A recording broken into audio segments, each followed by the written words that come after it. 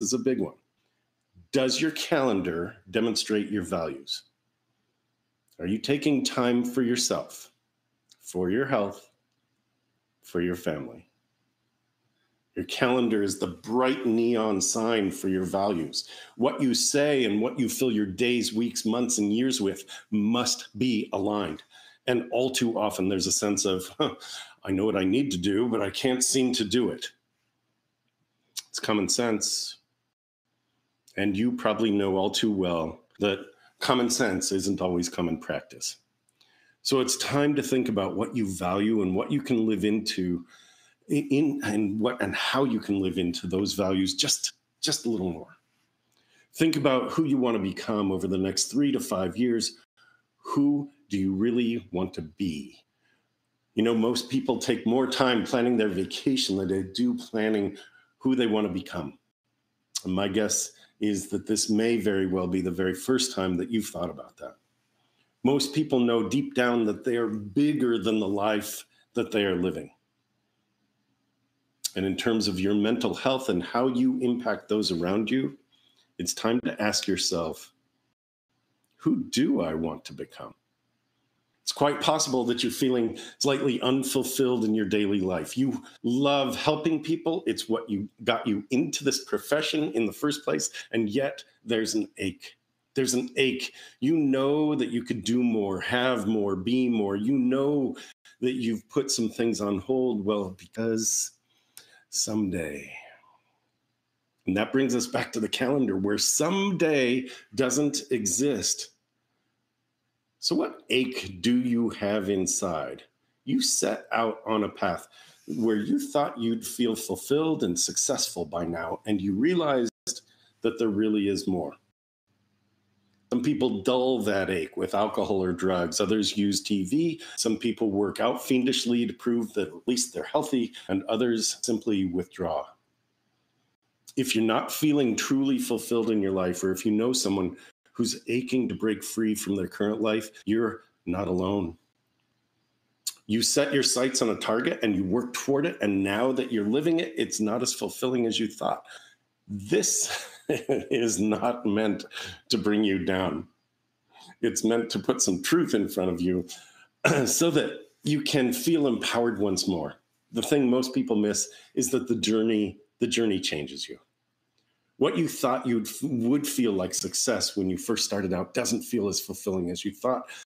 That's the bad news. And really, again, I'm not here to bring you down. The thing is that it is true for almost 100% of the people I encounter. And I find it out because I dare to ask those kinds of questions. So the good news is twofold. First, you're not alone. You're not alone in feeling that way. And second, you have a chance to live the life you really want. And that brings us to mindset magic. I use the framework magic to help you think about how to reclaim your life in a way that's a little different from where you are now. The idea here is that when you raise your awareness, you become a leader for those around you and you serve to lift those around you. So let's explore mindset magic magic. The M in magic stands for mindset. Your mindset matters more than anything. It matters more than your family, your business, and dare I say, it matters even more than your connection spiritually. Here's why. If your mind isn't focused on your ability to grow and be curious and truly see and open to the possibility of uh, positive opportunities in your life, you'll miss out on all of the important connections. The A in magic in the magic framework. M A G I C is for accountability. You're in a position that requires skill and comes with a good amount of pressure. And that's where your mindset will be at play here. But you also need amount accountability. You need to be accountable to your to your patients, to your team members, and to yourself. Are you aware of what's going on for those around you? Are you aware of the thoughts and self talk that you have during the day? Are you saying things to yourself that you'd never let anyone else say to you? This is a big concept and so easily dismissed. And in a few minutes, I'll give you my tool for interrupting negative thoughts that creep in. It's so important that you build skills that match with your values. You care about others. So, can you check in with them honestly and vulnerably? with all transparency, I'm asking questions here because your subconscious screams the answer. When you ask a question, your subconscious wants to answer yes to everything. And so I'm asking and we'll we'll begin to look for ways for your subconscious to say yes if you let it. So I'll continue with a couple more questions here. Can you lead by asking for help? Whether that's for something you're struggling with or with a project you're you're working on completing and wanting to celebrate, can you reach out to garner support? Being accountable to yourself for living into the values you said you'd have is a big deal. And the next letter in the magic mindset framework is G. M A G I C G is for uh, uh, gratitude. G's for gratitude. Now, there was a period of my life when I woke up before the sun came up and I grabbed something that was supposed to be breakfast before jumping into my car and heading off to work. And every morning when I'd wake up, I'd start my day by muttering some cuss words. What we know about mindset is what you feed yourself, you get. And one day was in one of those lovely pre dawn cuss word starting days. I was in stop and go traffic, hating my life. Stop, go, stop, go, stop, go. And then the traffic went stop, stop. But I went stop, go. And I struck the vehicle in front of me. I rear ended a trash truck. I didn't need a bigger sign in my life. I hit a garbage truck. Something had to change, and it did.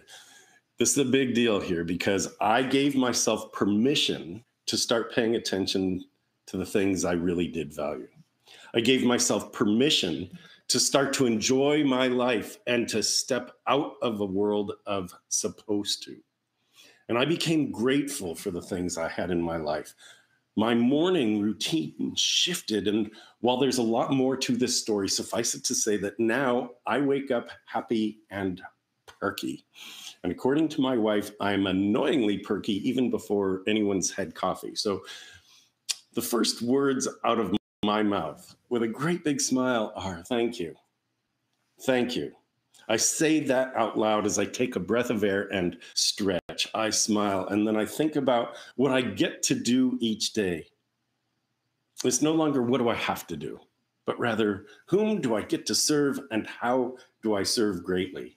I'm grateful each day for the difference I get to make in people's lives, and whether that's via writing or a coaching call or maybe even a smile and eye contact with the checker at the grocery store, I know I'm making a difference. And I'm grateful that I get to do that every day. Do you know what an aglet is?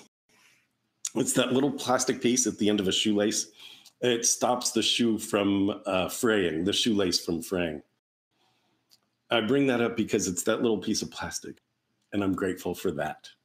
And I'd like you to, I'd like to encourage you to take on a practice of gratitude for the really small things in your life. Think about 5, 10, 20, 50 things for which you're grateful. And as an exercise, you might want to list them. It is harder than you might think. The point here again is that if you can be grateful for the little things every day, two things happen. First, you find that the little irritants of everyday life just aren't that annoying. And second, when grateful for the little things in your life, you find that the big things are pretty significant. And that's where true joy is born. So gratitude really is a thing. The I in the magic framework, mindset, accountability, gratitude. The I is inspiration. What inspires you? And who can you serve to inspire? I'm a big fan of lift as you lead. Lift as you lead. If you're on a path and can bring someone with you, there's no need to compete. There's enough for everyone to succeed. And the question then is how can you help those around you? How can you serve as a role model and support or encourage others, inspiring others, lifting as you lead? You may not be aware of this, but you are being watched. Whether you're by your family or your friends or your teammates, people are watching who and how you are. Have you have you ever had a really draining day and then somehow, whether at a grocery store or airport or somewhere during your day, you found yourself standing next to somebody who's in the military? Their posture is something. When my daughter was in the Marines, I'll tell you that I found myself standing a little taller around her. She probably didn't know that she was inspiring me. It's that subtle. And think about that. Your intention, your posture, your actions, your tone, and the language you use, all of those serve as tools of inspiration. Do you think you could inspire someone to be just that bit better because you're choosing to live your life just that bit better? You're choosing to step up. By the way, I use doorways as a reminder. It's called a threshold trigger. Whenever I cross over a threshold, I do a mental check. What do the people on the other side of this door need? How could I serve them? It's amazing because if you do that, every single patient gets your absolute best. And better still, when you get home, you won't feel like you left it all at the office. You'll be in a state of wanting to continue to lift others. I is for inspiration, and you can remind yourself to bring it. C is for clarity, and it comes back to your values. You've got to be super clear about what you value now, not what you did value, not what you're supposed to value. Just get really clear about what you do value. For most people, it's time and money that give them the freedom to spend with family and loved ones, maybe to enjoy new adventures. You might have a hobby or an interest you've put aside, and remember that someday thing. It's not in your calendar, you have now. So, what is it you value? What would you truly treasure? What would you want more of in your life? And that, that, that then begs the question about what other things you've been tolerating in your life. What have you been putting up with, whether that's clutter, a toxic relationship, or your nu- nutrition or exercise routine, or even negative self talk?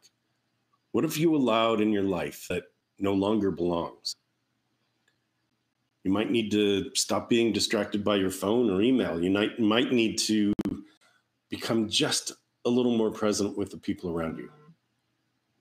Getting super clear on your values and taking even small action steps toward living into those values just a little bit more each day, that'll serve you in ways you haven't imagined. Let people see what you value through your actions and your words. Get clear for yourself so you know what's in and what's out, and what you will and what we will no longer tolerate. Become really, really clear about what you value and how you stand in those values. Clarity is how you communicate what you value as well. The magic framework will serve you. This is the magic mindset mindset, accountability, gratitude, inspiration, and clarity. That's true magic. Now we're focusing here on mindset, which will lead us to mindfulness, and that's the foundation for great self care, all of which are essential for mental health. Remember that health is not merely the absence of disease, Per the World Health Organization, health is a state of complete physical, mental, and social well being. And we humans, we're not meant to just survive. Animals in the forest were meant to survive. Squirrels, bears, birds, lizards, they don't wake up every day thinking, How can I live my best life today?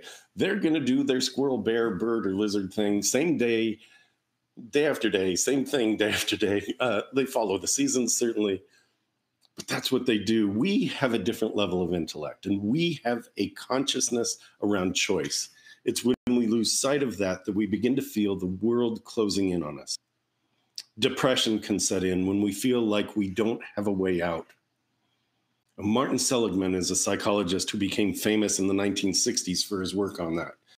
As we look back on his work now, his early work, it seems a little cruel. He experimented with dogs in a kennel. He'd have a dog in a space with a bench and a grid on the floor that could ad- administer an electric shock. In a nutshell, his experiments were that he'd sound a buzzer, and then a couple seconds later, he'd send a current through the grid on the floor. And the dogs learned that when the buzzer sounded, a shock was coming. At first, they were confused, but they soon, soon learned that to avoid the shock, they needed to jump up on the bench. The buzzer sounded, the dog would jump on the bench. The buzzer sounded, the dog would jump on the bench. The buzzer sounded, and the dog would jump on the bench. What came next was the hard and kind of cruel part. Seligman had the bench removed. The buzzer would sound, and the dog would look around frantically, searching for the bench, and the shock would come. A buzzer would sound, and the dog would run or hop looking for the bench, and the shock would come. And then eventually, the dogs realized that without the bench, the shock was coming. And the buzzer would sound, and the dogs would just lay down. Without the sense of escape or any way out, the dogs just laid down and took it. This research is what made Seligman famous. And the concept here is what's known as learned helplessness. Learned helplessness.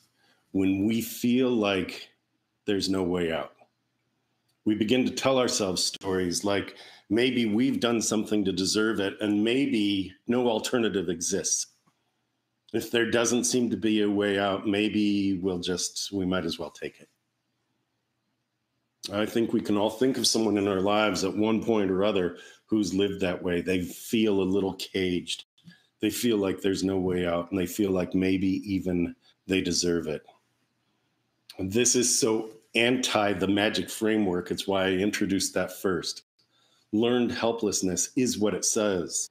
It is a learned way to be. And luckily, by the 1980s, Seligman realized that if dogs and people could learn to live their lives from a place of helplessness, the other opposite just might be, just must be true as well. And he began doing a variety of experiments and was able to show that if you interrupt negative thought patterns, if you engage in gratitude and charity, if you look for the positive, you can train yourself to look for alternatives in your world.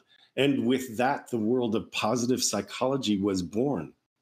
We can learn to live our lives in a way that's meaningful, focused, and purpose driven. We're beyond just needing to survive. As humans, if we're not thriving, we're in a state of disease. Again, you need to hear this. As humans, if we're not thriving, we're living in a state of dis ease. Our mindset matters. The mindset of those around us matters. Our accountability to ourselves and to others is paramount. Living gratitude, living that way, it's a choice that serves to elevate. Being deliberately inspirational keeps you present and focused on others and being clear, having that clarity about your values and your boundaries, that allows you to accept in only the things that truly matter. Thriving is your normal set point. How would your life be different if you took that concept on fully? Thriving is your normal set point. You don't have to tolerate surviving and never ever say, oh, living the dream when someone asks you how you're doing. You don't get points for suffering. Overall health starts with mental health, and that's all about mindfulness and self care. Listen to the words you use with yourself. Would you let someone else talk to you or your mother the way you talk to yourself? You know, if you're doing well here, pass that on. That's awesome. If you're realizing that you've been beating up on yourself, caging yourself, and maybe even teaching yourself that there's no way out, it's time to change and even reach out for help. By the way, that one tool I use to interrupt negative thoughts that try and sneak in, I say reset, reset out loud. Doubt edges up. Reset, reset. It's a handy, quick thought pattern interrupt. It makes me smile and I remind myself that just as much as there might be some doubt, there's also the likelihood of success. And that's what I reset to. We choose to better ourselves so that we can be better for others. We choose to lift as we lead and we step into the role of leadership, no matter the position we have at work or in our family. What stops us? What gets in the way of asking for help or even seeing someone else that might need some help? It's something that Jerome Adams, the former Surgeon General, said said is bad. It's really bad. And in a word, that's stigma. We need to be talking about how we're doing. We need to see what's real and not judge ourselves against someone else's highlight reel on social media. And we need to be seeing each other. Your mindset has to be so attuned to possibilities that you see others who could use your unique gift that of being a kind, present, compassionate human.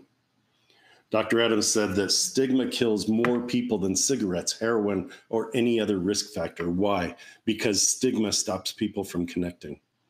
We need to identify stigma and talk about it in order to overcome it. There are three types of stigma there's self stigma, where we internalize and accept negative stereotypes, essentially taking on the notion of being broken therefore maybe bad, wrong, or unworthy. There's social or public stigma, where a general negative feeling about a group exists. Those who are mentally ill or addicted are, you could fill in the blank.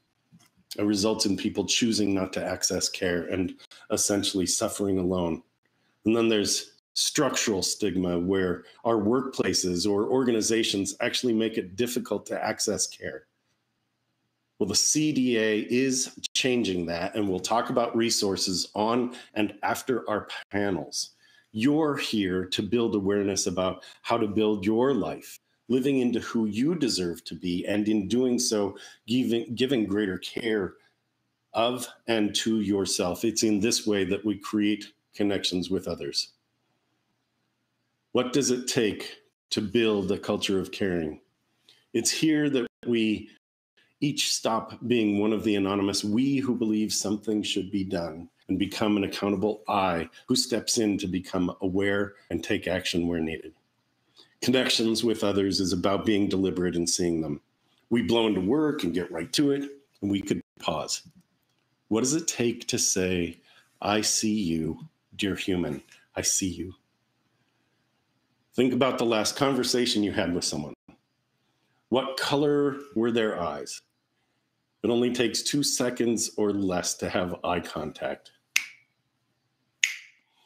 It only takes a moment of being deliberate to connect and build a culture of caring. And that starts with one. A culture of caring comes from and through your values. It's demonstrated in your actions, in how you pause to connect with each other, how you listen, and how you hold space for another. Sometimes a sacred second, a pause, it's all that's needed. I see you, dear human. Use the mindset magic framework for yourself mindset, accountability, gratitude, inspiration, and clarity. Interrupt old patterns that no longer serve you and become truly deliberate in the way you choose to see others in your world. You might just save a life by creating and living into a culture of caring. I see you, dear human. I see you. That's magic. I'm Dr. Wayne Pernell. Thank you. At this time, I would like to take us to our panel. I'd like to introduce you to Dr. Roberta Garceau and Dr. Matthew Korn. They'll be joining us for the next segment of our program, a panel discussion about looking inward and tools you can use to prioritize mental health and wellness.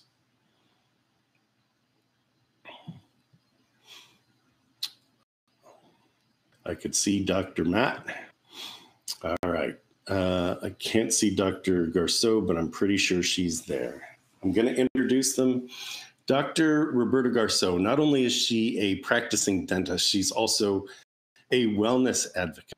Roberta blends current science with traditional or Ayurvedic wisdom to help others enhance health, function, and self esteem, and overall well being. Dr. Matthew Korn is a periodontist practicing in Sacramento, California, and he's a recovering addict with over 13 years of sobriety. His relationship with addiction makes him uniquely qualified as the CDA Wellness Committee Chair, and he, as he likes to say, his mess has become his ministry. As we get rolling, there's some statistics that are worthy of paying attention to. Prior to the pandemic, we saw stats showing that 25% of Americans had some form of mental health or substance use issue. 25%. That's one out of every four people. Now, the recent stati- statistics are staggering as that number has doubled, and now 50%, or one out of every two people, has experienced or is currently experiencing some form of mental health or substance use issue. Whether anxiety, depression, or something else, either we've experienced or we know someone who has. That means 100% of the population has been touched by this issue in some way. I would encourage you to build vision statements that allow your that allow your practices to reflect a culture of caring. And as you'll hear in many ways during our time together, you can you can't give what you don't have. And that means you have to grow in what you know. And it means that you've got to take care of yourself so that you can actually care for others. Again, a culture of caring has to start with self-care.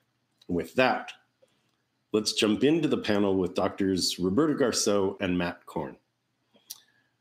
Matt, good to see you.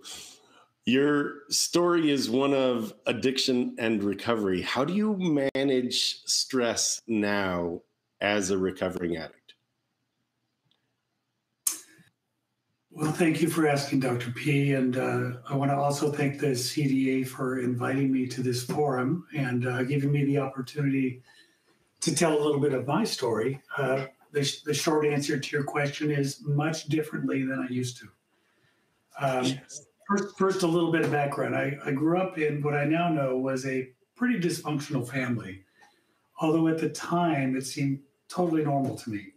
And uh, but I learned how to handle stress from what I saw as a kid growing up, which meant typically you argued about things, typically you blamed other people for things, and I went off into dental school and became a dentist, and uh, found eventually those things didn't work so well. So the best way to describe the family I grew up in was it was like the Rolling Stones tune, Mother's Little Helper. Mom would take a little Xanax when she wasn't, you know, handling the kids all that well. And guess what? That's what uh, kids see parents do. So that's what we learn to do. So now, thankfully, in recovery, I learned that I am not my behavior. And I didn't change, need to change who I was. I only needed to change my behavior. And so I only had to really change one thing, and that was everything. And uh, at first, that sounds like a lot. It sounds like trying to eat an elephant. But then I learned that I only needed to do it one bite at a time, and time takes care of the rest. So um, basically, um, as a you know, as a kid, I was focused on getting drugs. High school, all the way into dental school, I wanted, you know, some part of my day was focused on that. And now it's it's much different. All I can say is that the process, the recovery process, has taught me how to take care of myself first, so that as you say, there's more of me to give to others.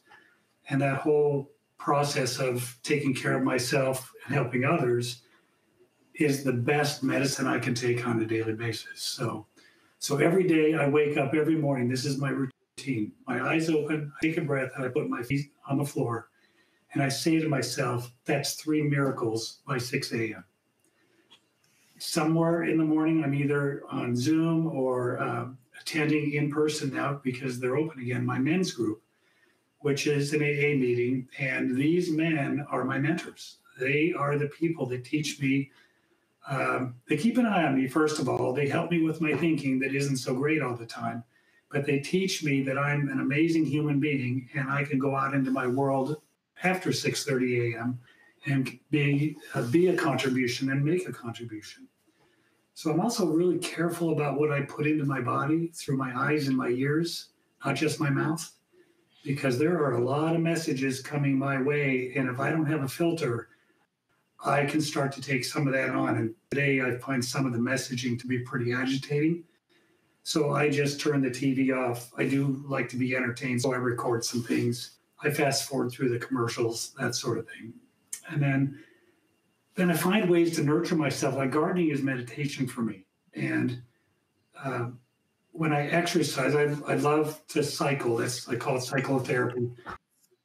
I've learned that every time I exercise, my brain produces this beautiful chemical, brain-derived neurotrophic factor, and it helps me create new axons and new synaptic connections. So my brain is rewiring due to the fact that I exercise. I limit caffeine. I do take some vitamin I because you guys know that is ibuprofen. Because you know I'm 61 years old now and things just don't work the way they did when I was 18. So, so that's that's kind of my day. That's awesome. I love the I love the notion about. Um, I mean, it, it goes back to what will you tolerate? What do you tolerate in your life? Right? What do we let in? What filters do we have? That's that's fantastic, Matt. Thank you, Roberta. Um, similar question: What uh, what techniques do you use for self care?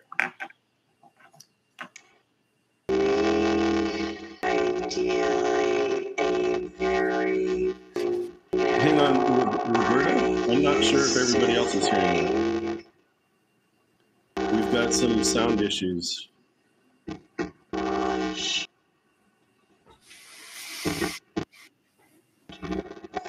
Is that is it possible it's your it's your pods that have that aren't charged still? Have they gone out? No, I, I actually charged them while you were talking. I just want to double check. Is it just me that's hearing that, or Matt, are you hearing it the same I'm way? hearing that too, yeah. Okay.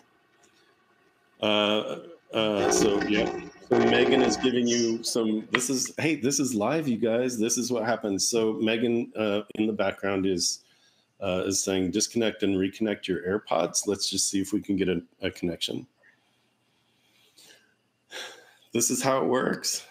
We got good people on our panel and occasional uh, tech stuff that that just makes it uh, glitchy.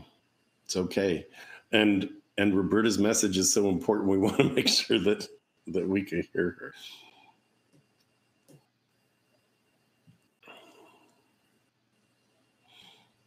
Cool. So Megan is suggesting you check your audio source. Meaning, does it show that AirPods are the ones connected? You sounded good before we went live, so I'm not sure what happened. It's nice to see you both. Let me ask Matt another question while we're doing that. Okay, so um, Matt, I know that the battling with addiction itself, it's not easy to do alone. How did you find the courage to ask for help? That is a great question. I would love to tell you I had the courage to ask for help, but that that wasn't my case. Um, I love what you said earlier about our inner voices and the way we hear ourselves and talk to ourselves. Uh, trust me, there were several times I wanted to ask for help, but it could never come out because that was that part of me was broken at the time. Um, the shame that was built up in me was too much for me to get out from underneath. So um, my uh, my intervention, if you will, revolved around an employee coming to a coach I was working with, and that coach did something that really mattered. Uh, most people can tell someone they have a problem. Uh, usually they get pretty angry and they say something. But what worked for me was my coach asked me if I thought I needed help. And the way it was soft and it was a question, I actually could get it out but uh, not before the state board ended up in my office. They, they're law enforcement officers, they have guns and badges. And that was a scary proposition that I wouldn't want anybody to have to go through. That's Yes. why I do what I do because there's an alternative to waiting till the bitter end uh, when help comes to find you. But the bottom line is, help did come to find me. It was just the right thing for me. Thankfully, I could surrender at that point, and the rest is the miracle. So That is a miracle. Every day, every day a miracle. And with, you know, we each, each get to start with a miracles every morning. Hmm. Roberta, Can you hear me now? let's hear. Oh, oh my goodness, another miracle. That's awesome. The miracle of technology. This is awesome. So, look, you know, frustrations happen. Here's, let me start. Let me start back uh, with the question I had wanted to ask you, which is what techniques you use for self care? Well, there was one that you might have just seen. I did this. like exhale, right? So, um, yes, as I was trying to say, uh, to me, self care is a very proactive endeavor. Um, I used to think that being uh, that self care was selfish, and so, like a true martyr, I put everyone else's needs before my own. And it worked great until it didn't. And I needed emergency surgery because I had internal bleeding and my body literally imploded, right? So, um, not so good. Now I ask myself the number one self care question, which is what do I need right now? I mean, really ask that question of yourself multiple times a day. And it requires a level of self awareness. So, hopefully, through the panel and through some exercises today, uh, that will be some some techniques that, that folks can use to tune into their own selves. Um, once you know what you need, try to find it, right, in a healthful way. So, you know, my personal self care techniques include, you know, I wake up before the sun. I wake up usually 5:15, 5:30 in the morning so that I have time to meditate and breathe and do some yoga stretches and then journal. And so in this way, I am getting my body, my mind, and my spirit or energy, if you will, um, intentional, focused, and ready for the day, for whatever happens, right? Um, so a lot of intentionality with that. Then say it's a work day. Once I'm at work, um, I do take breaks, right? Give yourself a mask break these days. Oh my goodness. Go to the bathroom, get a drink of water. You know, um, I had a patient come in recently, a young man, and went into a full on panic attack. I'm like, oh my goodness. So when that happens, not only can you help your patient by breathing, but you can help yourself with mindful breathing. And I'll be leading a, a bit of an exercise and a really simple technique that we can all use a little later in the program. Um, stretch during the day. That's another self care thing. Get up and move. Uh, if you've been sitting here for the program the whole time, you might want to get up and just stretch right now, right? But for the viewers. Um, stretch in your operatory stretch with your assistant. There you go. stretch with your patients. Um, take time for that.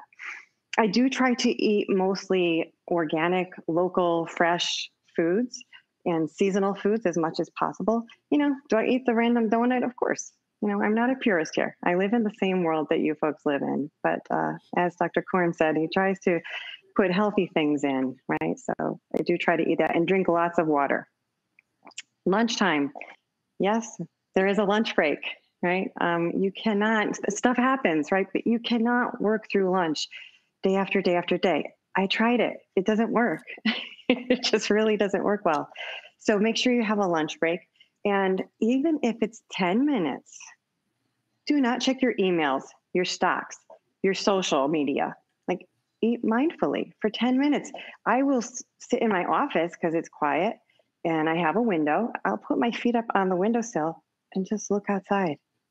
Just like, just be with your food, just be in a moment.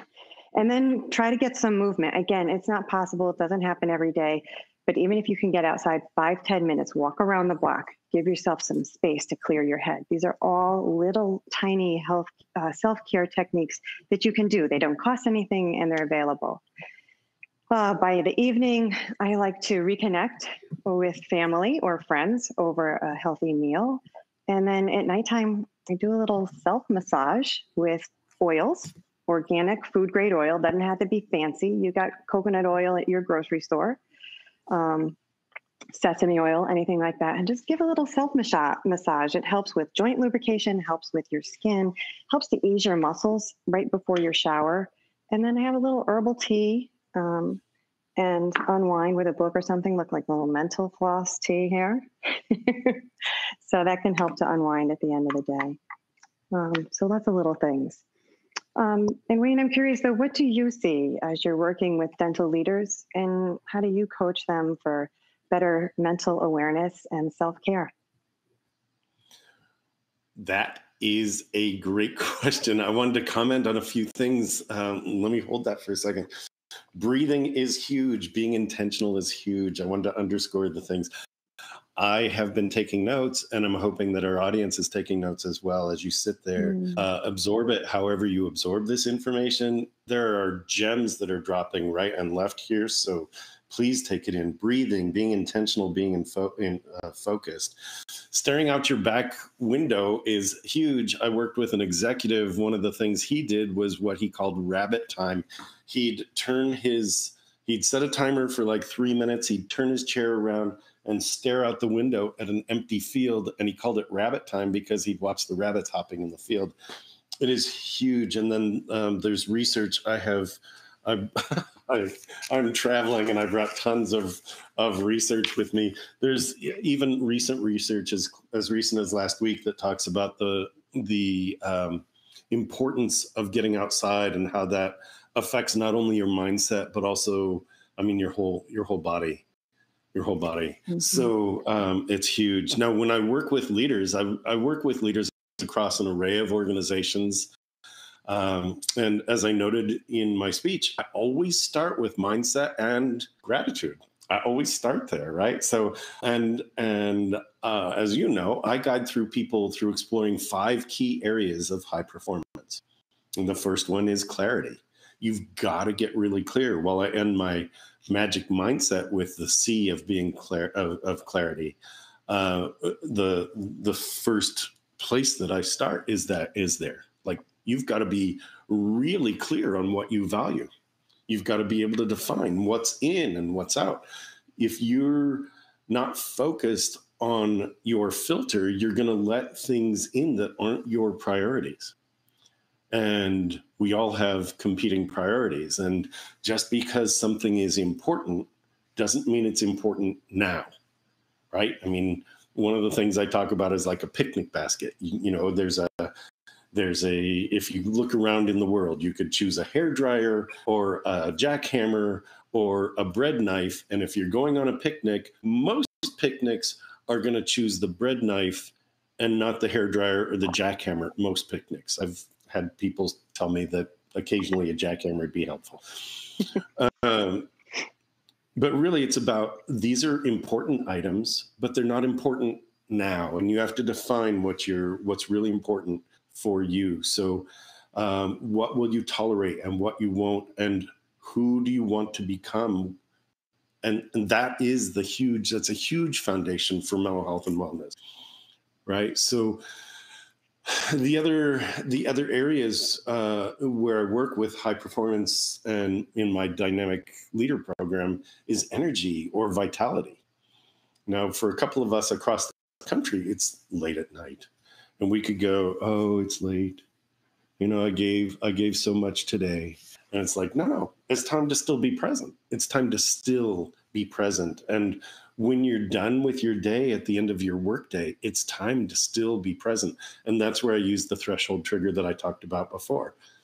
Right, you've got to be able to manage your energy and manage uh, manage the fuel that you give it, and that's where both um, both Roberta, you and Matt have talked about.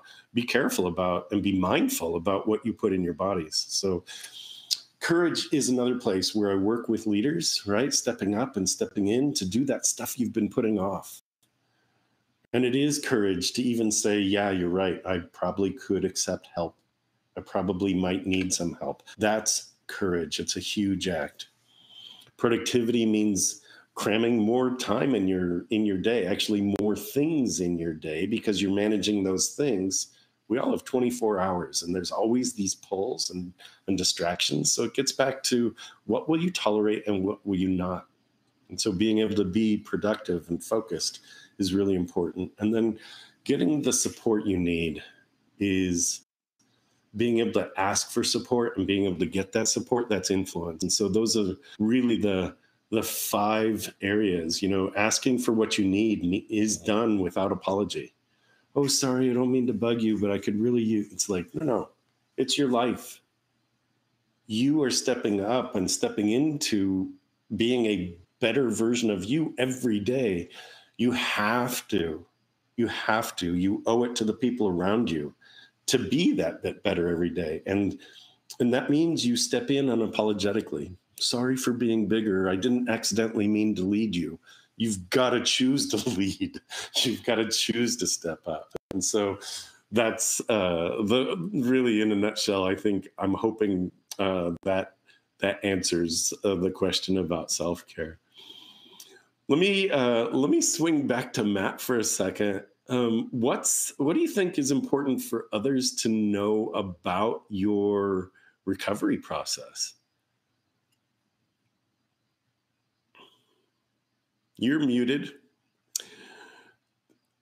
I did it. All right. It's it, it's so much better when we can hear your gems of wisdom. Thank you. Um, there, there are three things really. First of all, uh, I'm going to answer this question by addressing people who either may be struggling with some kind of a substance uh, use issue or know somebody that is. Um, remember, I was, it turns out I was the last guy to find out I had a problem. Everybody else knew, but, but couldn't step up. So here's, here's the thing that I want everybody to hear. Number one, I was in a hopeless state when I was uh, under the influence and I couldn't stop what I learned is there's hope. Uh, 85% of dentists that I know of that I've helped with in the last 13 years have, are still recovering. 100% of them have a better life, not than they had before, but a better life than they thought imaginable. Now that's that's hope. Um, and the last thing is that addiction isn't a disease that only affected me, it affected my entire family.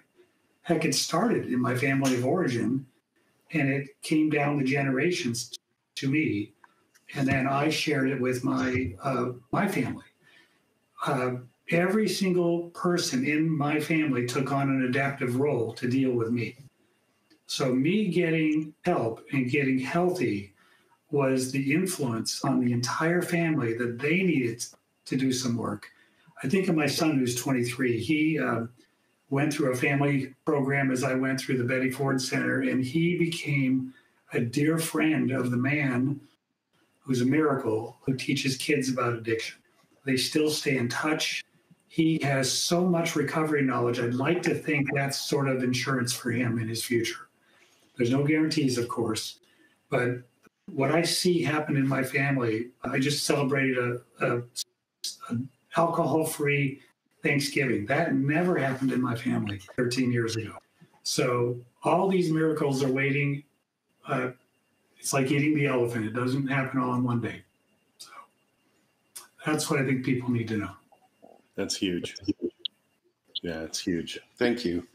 Uh, you know, I again, I'm going to underscore some of the stuff you said. The the idea that people could live a life that was unimaginable and to really really help them imagine help help others imagine the unimaginable it's like what what would your life be life be like if and it's it, it's what would your life be like if you had more time if you had more resources if you had more availability to yourself what would your life be like it's it's huge. And then, you know, you talked about the adaptive processes of the family, and I wanted to come back to that as well, which is, you know, uh, the the family has been likened to any any system, whether it's family or team or any kind of organization, but really here we're talking about the family, has been likened to a mobile, you know, those mobiles that have little little dangly things with cross cross strips and they hang in balance.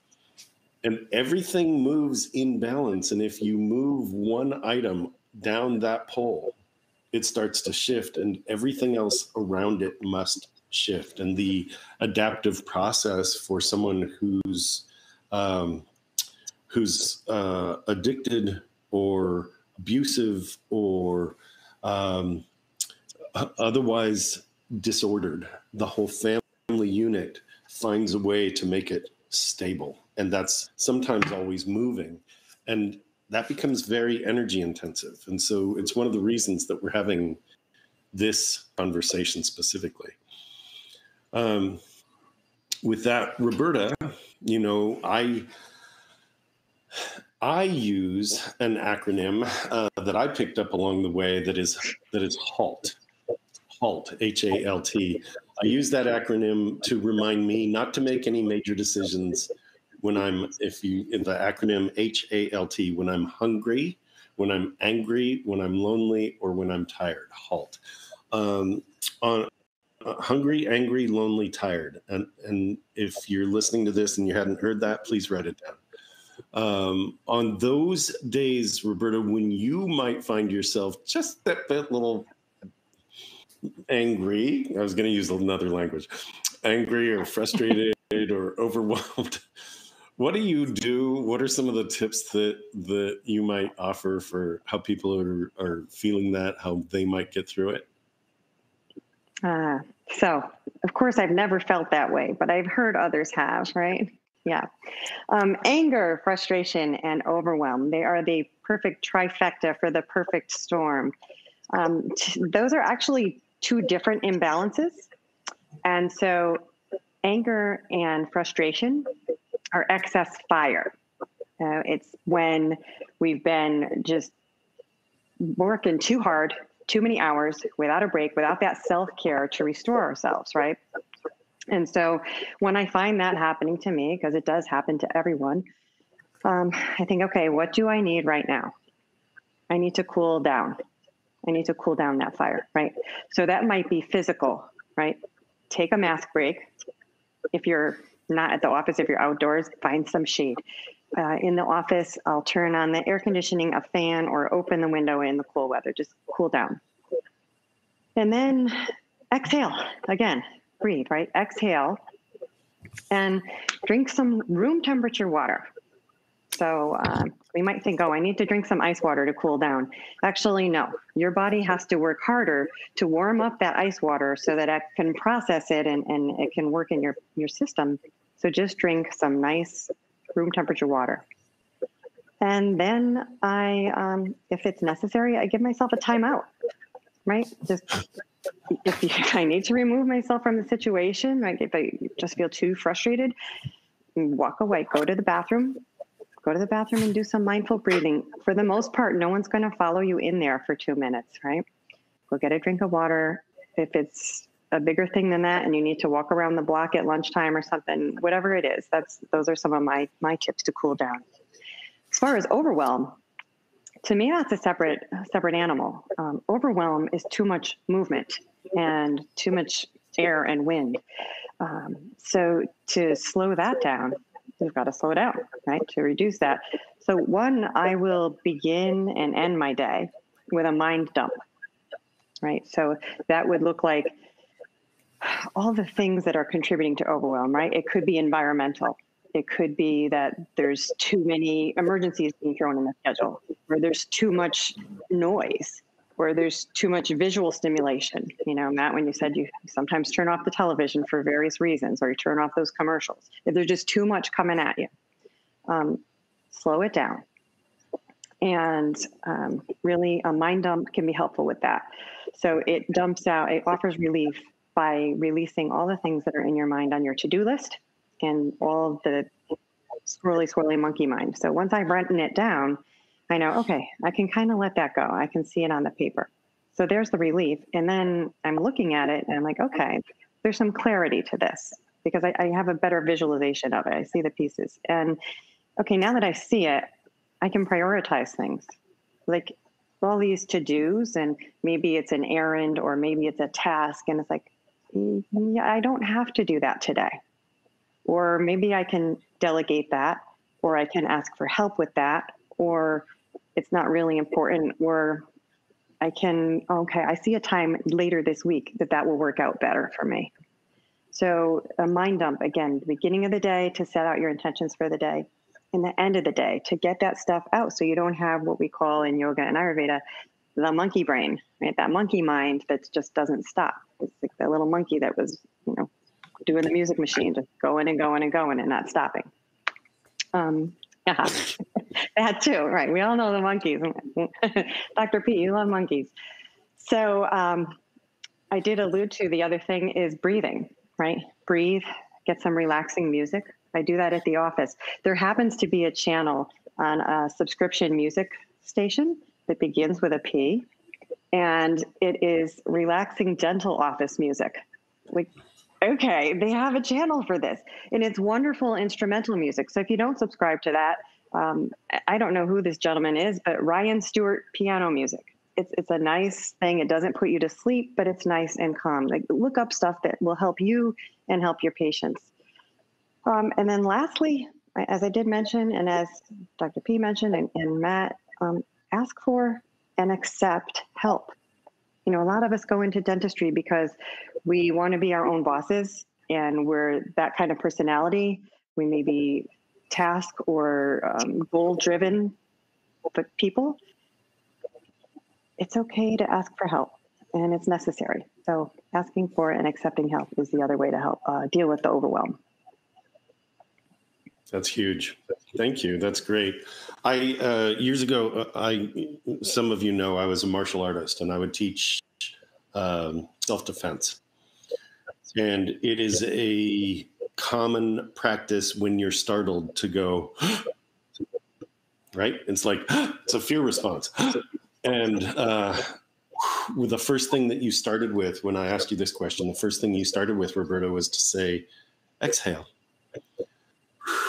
right? And so yeah. uh, in self defense, I taught people how to roar, like roar, roar, right?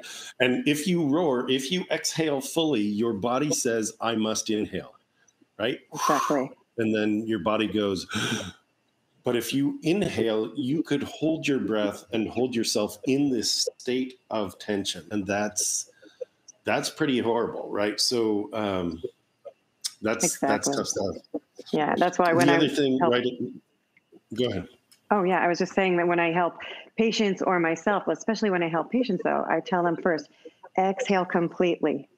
So when you're trying to help your patients, squeeze the stale air out of your belly, squeeze that belly button towards your spine, because then they can breathe. Otherwise, it's like, you know, yeah. they're trying to breathe. It's like, no, you breathe out first, and then you, your yeah. body will do the rest. Let it come in.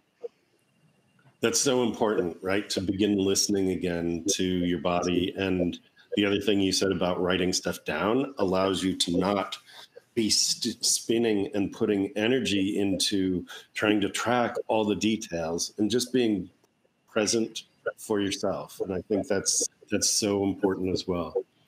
Um, Matt, I'm gonna I'm gonna come back to you. Uh, you know, we talked about the idea of building a culture of caring, building a a culture through vision and through values, through expressing that, where you can actually embody that every day. And so I know that your values are so strong, they must come through in your actions. And you are building a culture of caring focus for your team and your practice. Can you talk about that? What does it look like for you? And how does that support your mental health and mental health in general? Building a culture of caring. And we have all day to answer this question, correct? this is this is an eight-hour topic for me. Um, so let me see if I can distill it down into about three minutes.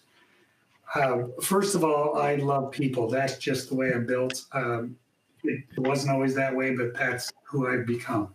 So when people uh, interview to work in my office, the first thing I do is I do a Gallup strengths assessment. I've done that myself. I've known my top five strengths for over 20 years. And the minute I hear their top five strengths, I know them at a much deeper level just in the first few minutes. Uh, I also have an unlimited CE policy. The good dentists go to CE, great dentists bring their teams, exceptional dentists send their teams and stay home.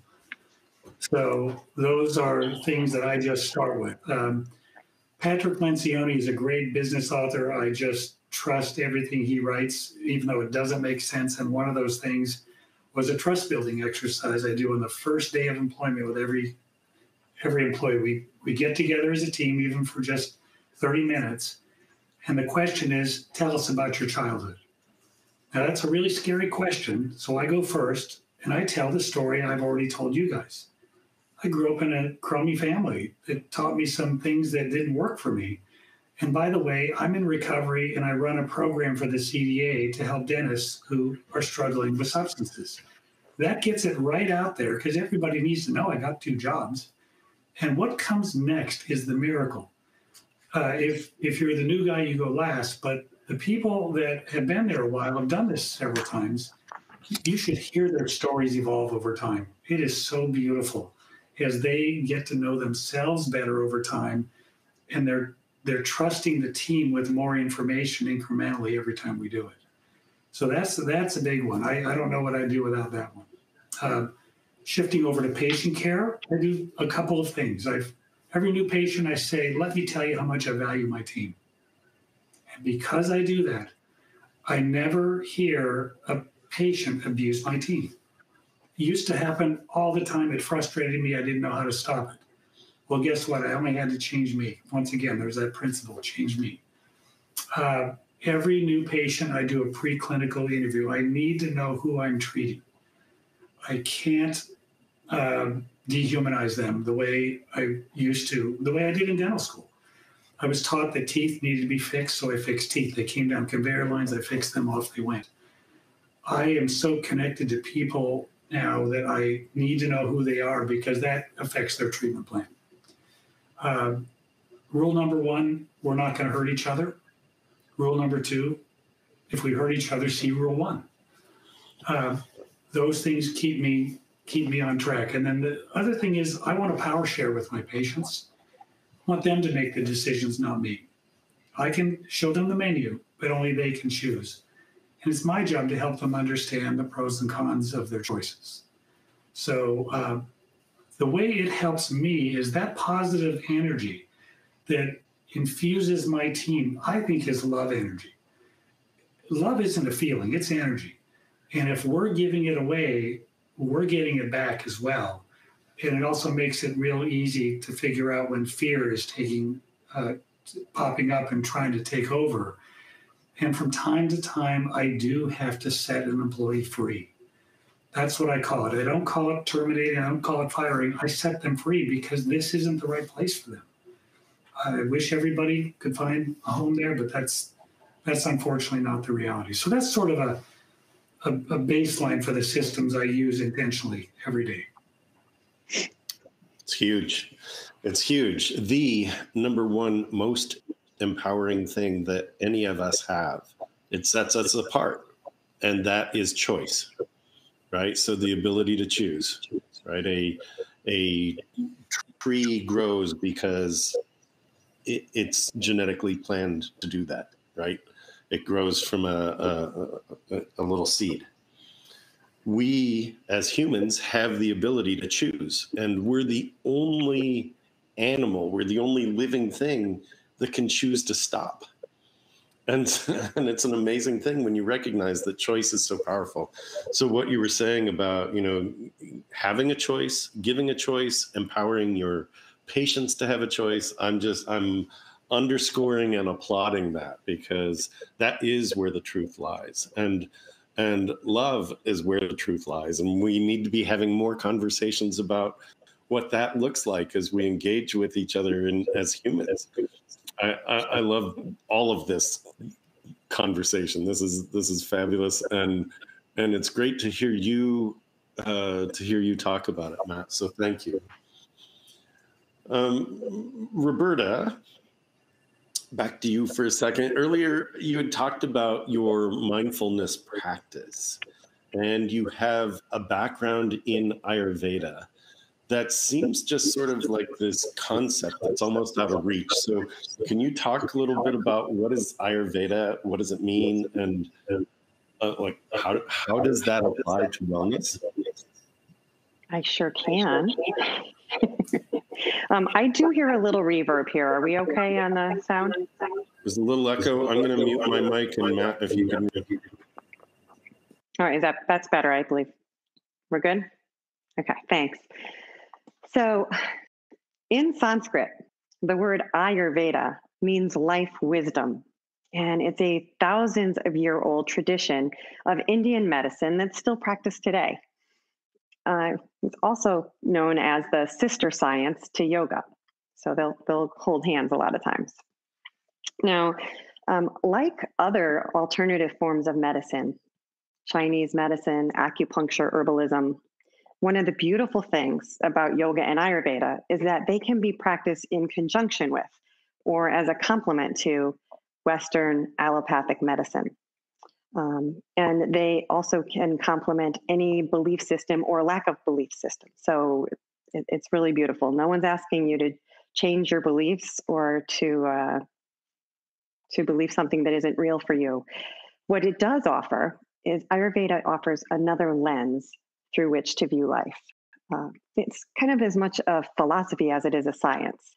And in Ayurveda, everything in the world, your physical body, your thoughts, your nerve conduction, the earth, animate and inanimate objects, all of nature are considered to be comprised of the five great elements.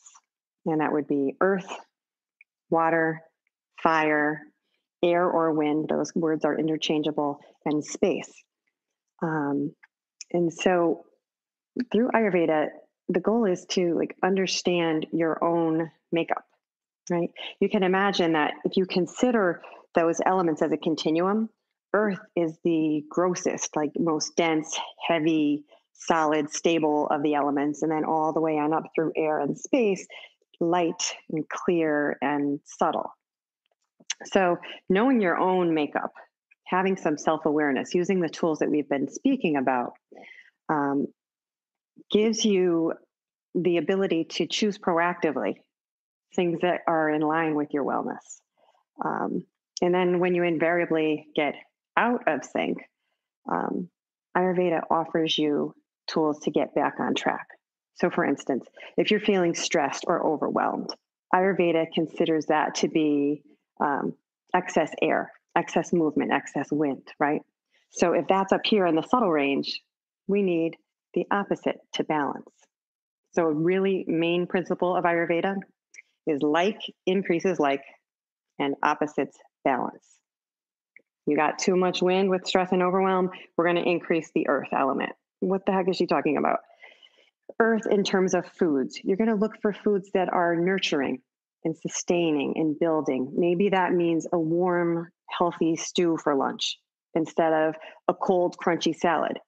You might think the salad's good, but that salad is light and crunchy and noisy, and it's everything that you're trying to not be, right?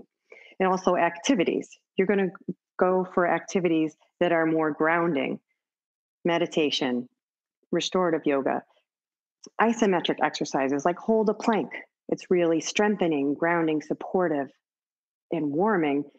But you don't want to be taking a Zumba class. There's nothing wrong with Zumba. But if you're stressed or overwhelmed, you're just adding to the frenzy, right?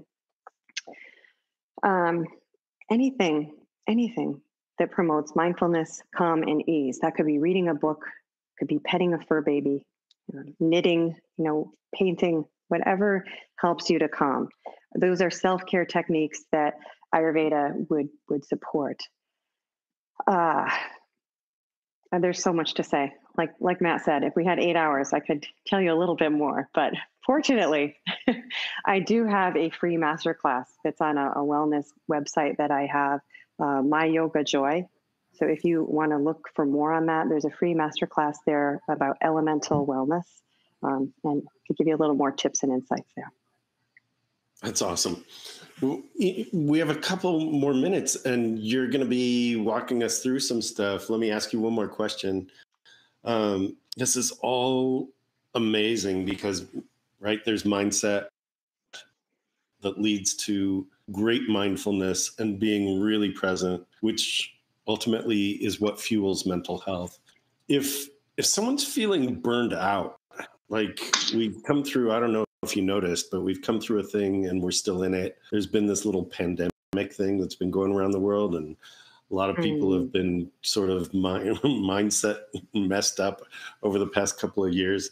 Um, if someone's feeling burned out, e- either with their life or in dentistry, what tools do yoga and Ayurveda offer? And we'll just go a couple of minutes, and then we'll transition to to uh, something you're actually going to show us.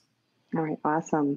Yeah, so burnout is exactly what it says. It's when you've been running your fire too hot, burning that candle at both ends just too long, working too many hours or too many days, or just not practicing self care, right? And so the light in your eyes goes out, the fire in your belly of passion or desire for the things that bring you joy just fizzles, and you're feeling pretty flat. So sometimes the tendency is, well, dang, I'm just going to drink more coffee and do more stuff and move faster. And I'm going to grab more fast food and I'm going to just not sleep and, uh, you know, run on fumes. Of course, we all know that's ridiculous. It doesn't work. And it leads not only to more burnout, but also to physical and mental illness.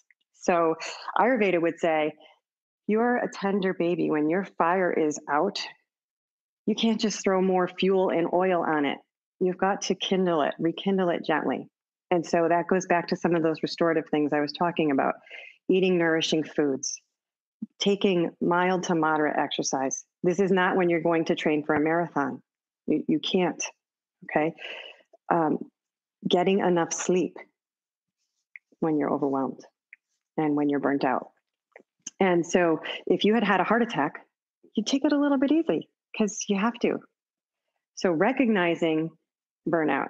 Practicing mindfulness and awareness and self care are necessary to recover from burnout as well as to prevent yourself from having a heart attack, right? Um, you know, look at your daily habits. So, one thing is just say no, right? You can't overcommit. No, I will not work through my lunch hour. And I, I'm sorry that the person's having an emergency. It is in my health and interest. I cannot work through another lunch hour today, every day no, I cannot be on that committee. Um, I will not be on that committee at this time. So saying no. Number two, um, look at your daily habits in your calendar, as you had said earlier today. Are you scheduling time for a lunch break? Are you scheduling time to exercise? Are you scheduling time to reconnect with your friends or your family? Are you scheduling time for whatever restores you? Right? So putting that in the calendar. And then third, again, ask for and accept help. Uh, that definitely can help you to get yourself out of burnout. Um, so, just some little shifts, little changes. We're not looking for seismic California weather kind of changes. We're looking for little shifts that can reap really big rewards in terms of your wellness and well being.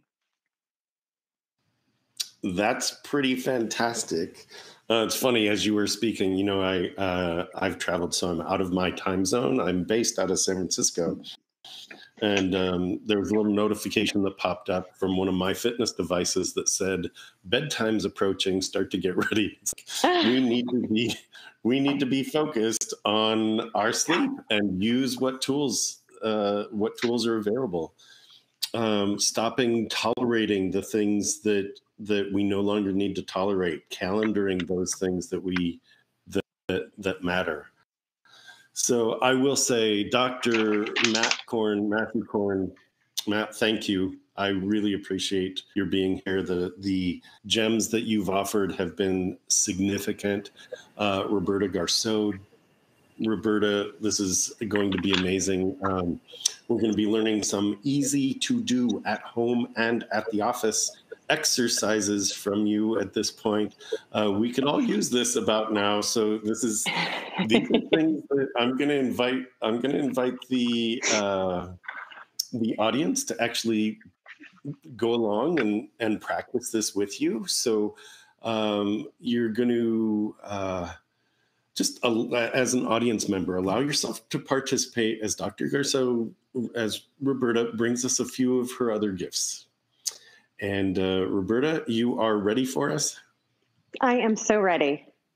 Awesome. All you. right. So thank you.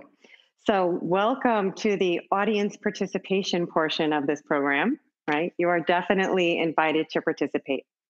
Um, I'm going to be offering three different exercises or experiences that can be practiced individually or separately, as well as they can be in tandem, like I'm, I'm going to offer them today. You will have access in your resource section to written instructions for these exercises so that you or a team member could lead these for your team at the office or at home. Um, as well, I'll have a video version of this presentation available for free at myyogajoy.com. Um, I think that's it. I also have to accompany this this section some slides of places that are meaningful to me and, and you might like to look at. For those of you who prefer to view this in full screen, you can find the little upward facing arrow at the bottom of your screen that allow just click on that and that will bring you to a full screen version for this portion. To get out of that, you can just hit the escape button on your keyboard. So that's an option there as well. Okay. Um, again, this is intended to be available and safe to just about everybody. That being said, you know yourself the best and you are responsible ultimately for your well being. So if there's anything that I offer that is not appropriate for you, please modify or just do what you need to do to take care of yourself. All right. Ah, so beginning with guided meditation and centering on the elements. Uh, I invite you to, you can do this from lying down. Please don't do that now, you'll fall asleep. Uh, from sitting or standing up. If you're standing, you'll want to plant your feet about shoulder width apart, a little wider than your hips, about shoulder width apart. Stand nice and tall. If you're sitting on a chair, scooch forward so that you're on the edge of your seat. You don't want to be slumped over, you know, you're not going to breathe like that. So get to the edge of your seat. If you're sitting on the floor as I am, you may want to sit on a block or a pillow or a cushion just to raise your hips above your knees. That allows blood flow through your hips as well as gives you space. Like if you're sitting like this, it's going to be a little hard to breathe. So giving your torso room to expand. Beautiful. All right. Exhale. And we begin. Go ahead and bring your hands to your hips with the thumbs facing towards your lower back, fingers wrapped around the front of your hips, and just rock side to side. If you're standing, you can, your feet may be doing this a little bit, rubbing on the edges of the feet. Just begin to open the hips. There's a lot of times stories and things that get stored here or kind of get stuck here. And then come to center and give yourself a little massage with your thumbs in that lower back region.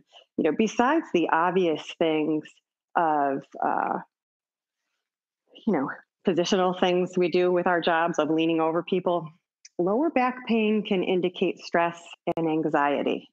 Those are big places those guys like to hang out. So give yourself a little self massage. Right? And then again, bring the hands around and begin to rock your hips forward so your tailbone lifts behind you, your belly sways out. And then exhale, lower the tailbone, rock the hips back, and kind of look towards your belly button. Inhale forward, exhale back. So just doing a little rocking again, lubricating the hips, opening things, releasing a little bit, and getting ready to sit. And then find that place that's neither forward nor back, that central place, and leave yourself be there.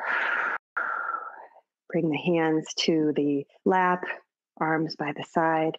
And the invitation is to soften your gaze, lower your eyes towards the floor. If it's comfortable, you can close your eyes and go inside for a little introspection, little inward focus. And we begin with the earth element. Feel your feet on the floor, your bottom on the seat, stable, supported, grounded. Notice the weight of your muscles, heavy, smooth, and soft. Bring your awareness to the water element as tears that lubricate your eyes. Swallow some saliva that moisturizes your mouth.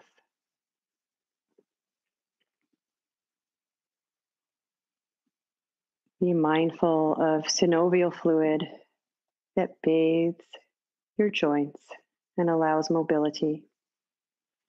And cerebrospinal fluid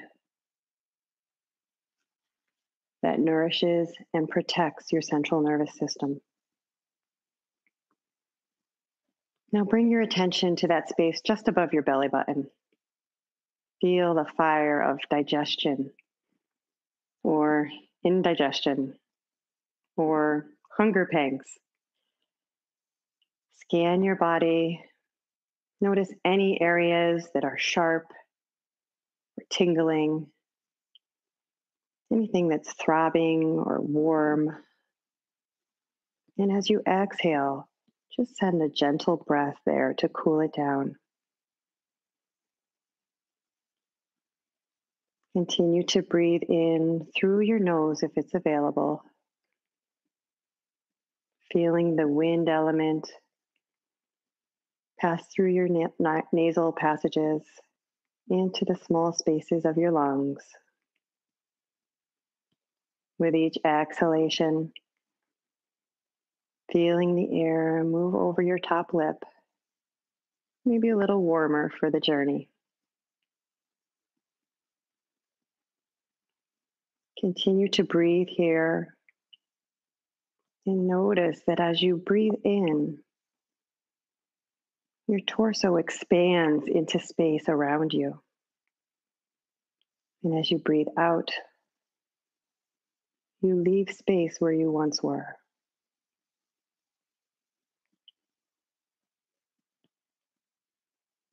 Now just breathe and feel and notice. Notice your heart rate, your breath, the qualities of your mind. Has anything shifted? Is there any more calm or stillness?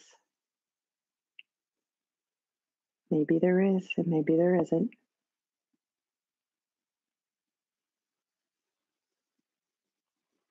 Now, moving into a five second breath. Again, this is intended to be available to just about everybody. If at any time it doesn't feel right for you, just return to your breath exactly as it is right now. So we'll begin together, exhaling completely, squeezing the belly button towards the spine, and then we'll begin. I'll count out loud. Inhale 1, 1000, 2, 1000, 3, 1000, 4, 1005. Exhale 1, 1000, 2, 1000, 3, 1000, 4, 1005. Breathe in, two, three, four, five. Breathe out, two, three, four, five. Inhale. Exhale. and in and out. Continue to breathe this way on your own, noticing the rhythmicity of your breath. If there are any edges that feel sharp or rough, see if you can iron them out. Make your breath as smooth and silky as possible.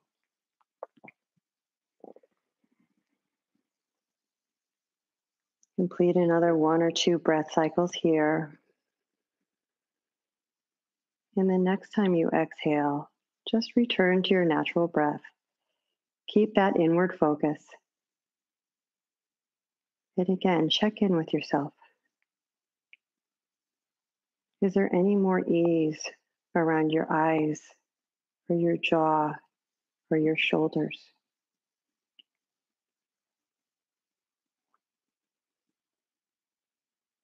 How has your breath shifted?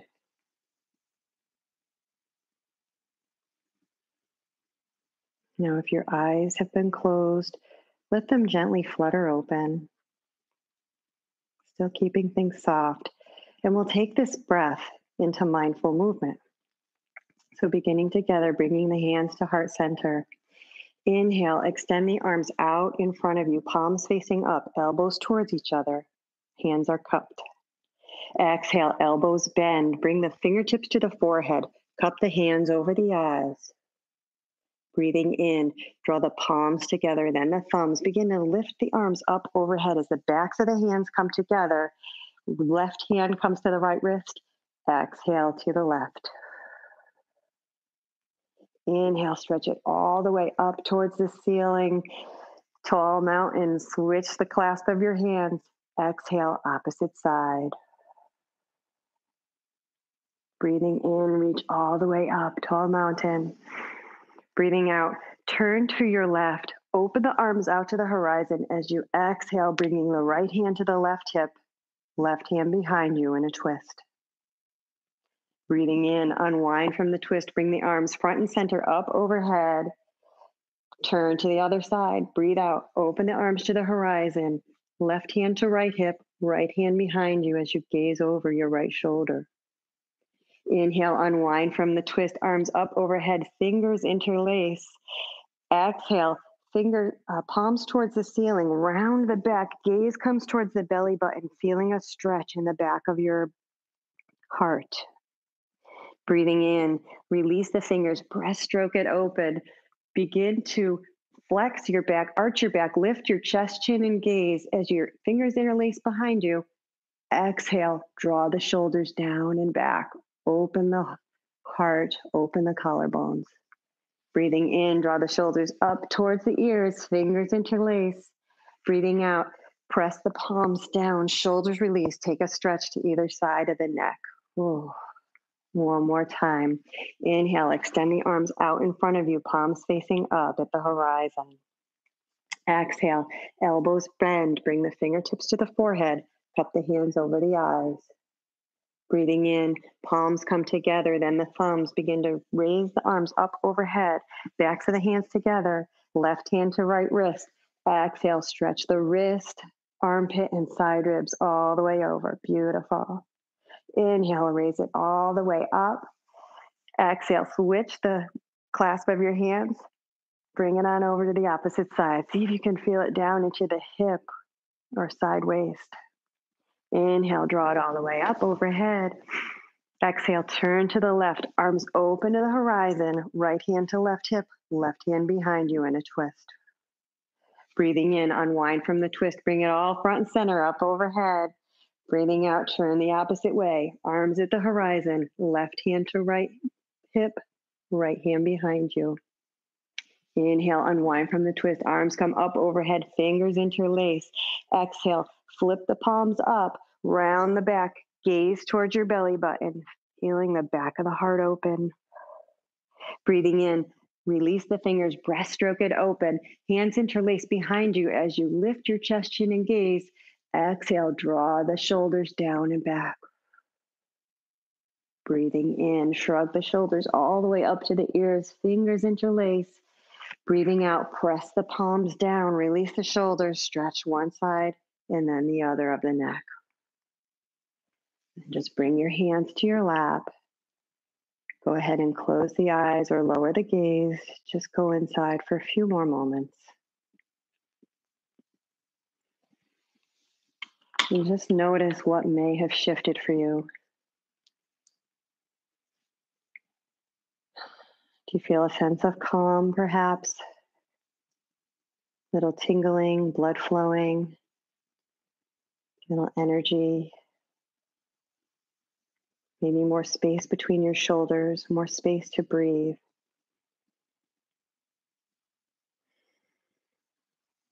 So, practices like this are wonderful for self care, for self awareness. And you can do them for free anytime, any place. Doesn't need any special equipment, right? Self care is not selfish, it's absolutely essential to your well being. And it's necessary for us to be present, aware, and caring of others. So, on that note, I'd like to welcome back Dr. Ronnie Brown. Ronnie's going to be speaking to us to help us understand how what we can do to recognize crisis in others and how we can support one another. Ronnie? Thank you, Roberta. Thank you for that mindfulness exercise. You know, one of the most important things that we can do as dental professionals is to, you know, reflect back on those moments when we knew that we weren't okay and we didn't necessarily know what to say or, you know, what to do. But I think by reflecting back on those moments, it really does help create um, a dialogue. It provides us with an opportunity for us to, you know, learn and grow from those opportunities so that next time one of those moments occurs, we can address it more skillfully as well as more confidently. So, with that, I would like to introduce to our panel Jocelyn Coupel, and I hope I can see her uh, video coming up. But Jocelyn Coupel is a uh, senior trial, a former senior trial prosecutor. She is a domestic violence expert. She's a speaker, she's an educator who delivers innovative and impactful training across the country to address issues of domestic violence. For the past two decades, Jocelyn has prosecuted high risk domestic violence cases. And her passion for domestic violence, if you will, really was ignited during her first year as a senior trial prosecutor, where in her native country, Canada, it witnessed the worst multiple domestic violence homicide that that country had ever experienced. Unfortunately, earlier this year, one of our own dental colleagues, Serena, who worked for Dr. Bell, lost her life to domestic homicide. Jocelyn had the opportunity to speak to Dr. Bell and his team as they mourned the loss of their teammate, Serena, to domestic violence. Jocelyn will point out, um, you know, what she heard and what they share with her in terms of what they saw, what they heard during the final weeks, during the final days of Serena's life. And she'll share those reflections from the team, really from an informed perspective, and will point out the potential significance of those observations. So, with that, Jocelyn, it's great to see you, and I welcome you to our panel conversation. Oh, thank you, Ronnie, for your very kind introduction. Um, as as you have suggested, and I I agree. I'm I'm here today because of Serena, really, um, and because of her story. And it's a story that is a very common story to me. It's a story that I've heard hundreds of times in the course of my career, but it's not so familiar to our audience. Mm-hmm. So, before we really um, get into the larger conversation, I want to introduce you a little bit to Serena. Um, she was a long time valued uh, general dental assistant in Dr. Bell's practice, as you as you mentioned. Um, she married her husband, Eric, in January of this year. And six months later, uh, Eric murdered her by strangling mm. her to death. And uh, that occurred when she told him that she was leaving him. So I want the audience to think about that, um, that singular fact. Mm-hmm. In the few months leaving, leading up to her murder, there were a lot of signs that all was not well with her marriage and that Eric was actually pretty obsessive, jealous, controlling man. Uh, Serena never really spelled out exactly what was happening. She, um, but she wasn't completely silent uh, either. There were many signs from which an impo- like from an informed point of view uh, would have um, been recognized or realized to be significant by both Serena herself uh, and uh, by her team members, frankly. So, for example, when her colleagues saw Serena's bruised throat and neck, uh, they knew that something wasn't right. Uh, they asked her about it. and asked her what happened. And her reply was, you know, somewhat flippant, according to what I was told, mm-hmm. uh, namely that Eric had, quote, choked her a little bit during sex. So, you know, I mean, that's kind of a hard thing, you know, to like go on from. So her right. colleagues kind of accepted her excuse, um, as I think most of us would. I mean, mm-hmm. what else are you going to say? And they didn't speak about it further with Serena because she kind of shut the door, at least as far as they were concerned. So, so today my goal is to give a voice to uh, what Serena and I think all victims of domestic violence want from all of us, uh, from our colleagues, um, uh, from our community, from our friends, and from our family. And here's what I think uh, we need to know. Um, we need to be educated about the dynamics of domestic violence. We need to be able to identify the signs of domestic abuse within, you know, the context that we're in we need to start a conversation.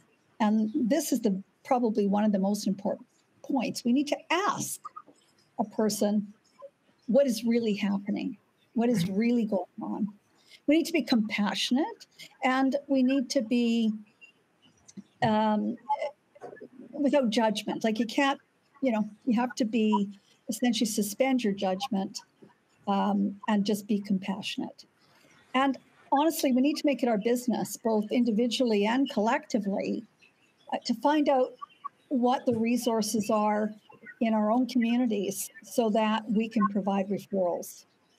So, um, and we're going to talk about that through our conversation today a lot more. But um, before we continue with that conversation, Ronnie, I want our audience to know a little bit more about you. Uh, we've heard something, some things about you, but um, um, you're, you're too modest to, to tell the audience that you are, in fact, a, a renowned um, expert on substance use disorders. Uh, this is an expertise which you, you, you talked about your work over the last two and a half decades. Um, but and that so it's certainly experience born of clinical practice, but also research. And you're also a published author uh, who wrote a, a, book called A State of Decay. And that particular book actually walks dental, dental practitioners through recognizing, communicating with, and treating patients who have meth mouth. So, in your context, what can you tell us about your reaction to seeing a colleague with bruising to her neck area? Uh, thank you, Jocelyn. You know, um, quite honestly, I probably would um, be uncomfortable. You know, I uh, would probably go through. Um, I think in my head, I would probably go through. You know, what could this be? Um, I'd ask myself, you know, was could this be the result of an accident? Uh, could this reflect some type of medical condition, maybe a vascular issue? And then, of course, I would uh, play on my head could this be the signs of some type of abuse?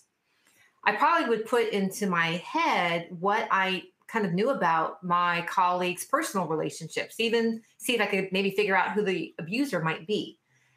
Um, and then, Jocelyn, I think I probably would try to figure out, you know, how do I start the conversation? Um, right. And that would be uncomfortable. And probably, you know, honestly, in the back of my head, I would ask myself, is this even my business? Um, and that just might be the default so that um, I wouldn't ask the question. but Jocelyn, let me ask you, um, if you don't mind, like something very similar. What would you do? You know, you heard my story. What would you do if you walked into your uh, place of employment and you saw your employer laying on the ground strapped to a nitrous tank? Would you know what to say? Would you know what to do? well, I, I, want to preface my response to that question by saying um, I have in my in the course of my um, two and a half decades of working uh, in the prosecute as a prosecutor, as a DA, and uh, with defense counsel um, uh, on the other side of the table, uh, that I've suspected colleagues, I've suspected lawyers that I work with of having a substance use disorder. But I never sought to ask them about it. It was just not something that I felt comfortable Mm-hmm. about. Um, and I, I have to say, in the legal profession, there's a very high rate of substance use disorder. So, Mm. to respond more directly to your question, I would have to say um, I would be embarrassed. Mhm. Um, I would be shocked. I mean, maybe I wouldn't be surprised that something had happened if I happened to know that you know that the person was having issues with alcohol or drugs. Uh, but um, I, I'd probably turn around and be truthful. I'd turn around and walk away um, so I could collect myself a bit and think about what I should or maybe more pertinently could do.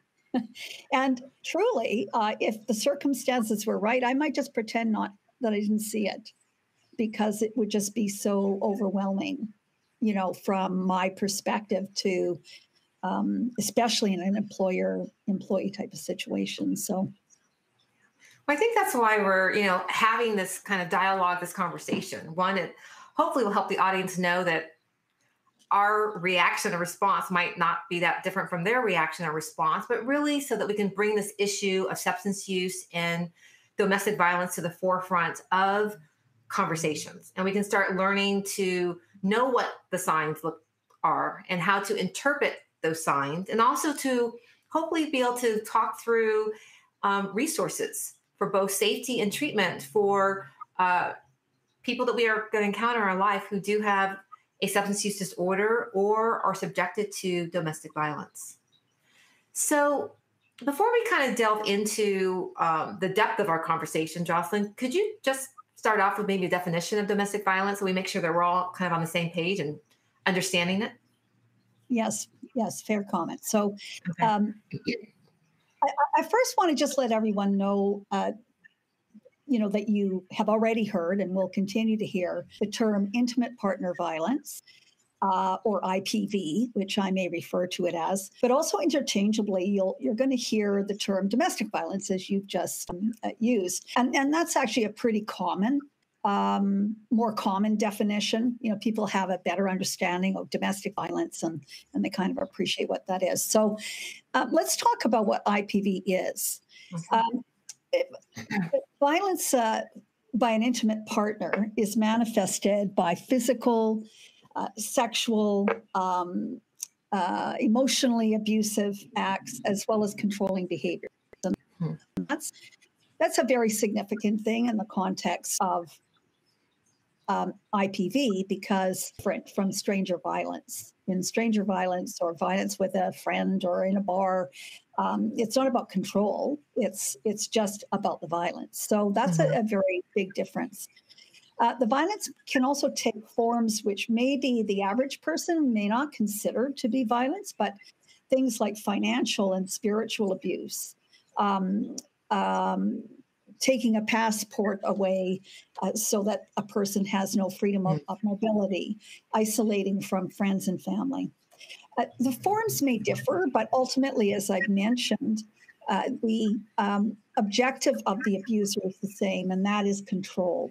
So, um, and I have to say, uh, from in utero to throughout childhood, chi- children are profoundly and very often ir- irrevocably damaged by IPV. And uh, if the audience uh, can see the slide, you know, there's some of the you know headlines about this research. But um, so that that kind of is a brief definition of, of what we're looking at with IPV.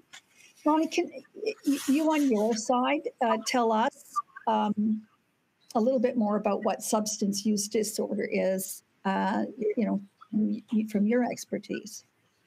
Yeah, substance use disorder, Jocelyn, is a disorder in which someone, you know, quite simply is using a drug in a way that's inappropriate, which means they're using the drug in a way it was really never intended to be used. They're using the drug, um, you know, excessively, both in frequency and in quantity. And they're also using that drug dangerously, you know, um, because when they drink that drink or they pop that pill, they're, you know, putting their lives at risk. But in order for someone to be diagnosed with a substance use disorder, they have to meet at least two out of 11 criteria established by the Diagnostic and Statistical Manual of Mental Disorders. And just really quickly, those criteria include if someone's using a drug in a situation that's dangerous or harmful. You know, they're having that drink and then they're getting behind the wheel of a car. They're right. using the drug even though they are starting to experience a decline in their physical and mental health. They're using the drug even though it's worsening the relationship that they have with their friends and their family. They're using the drug even though it's making it difficult for them to meet obligations in their life. And the use of the drug is kind of worsening or escalating a legal situation. But also, the use of the drug has become a problem. I think, you know, Matt had uh, really well articulated that because um, the individual has started to develop a tolerance to the drug. It takes more and more of the drug to experience its pleasurable effects. When the drug's mm-hmm. not in the system, the individual experience withdrawal. And the individual has begun to use more of the drug than they had ever expected for a longer period of time than they had ever anticipated. And now they're having difficulty not using the drug. So that's really kind of in a nutshell um, the things that need to be kind of looked at in terms of kind of the diagnostic, as well as just kind of a basic definition of a substance use disorder. So, Jocelyn, how many, um, you know, based upon what you know, how many, um, how many people are affected by domestic violence, intimate partner violence?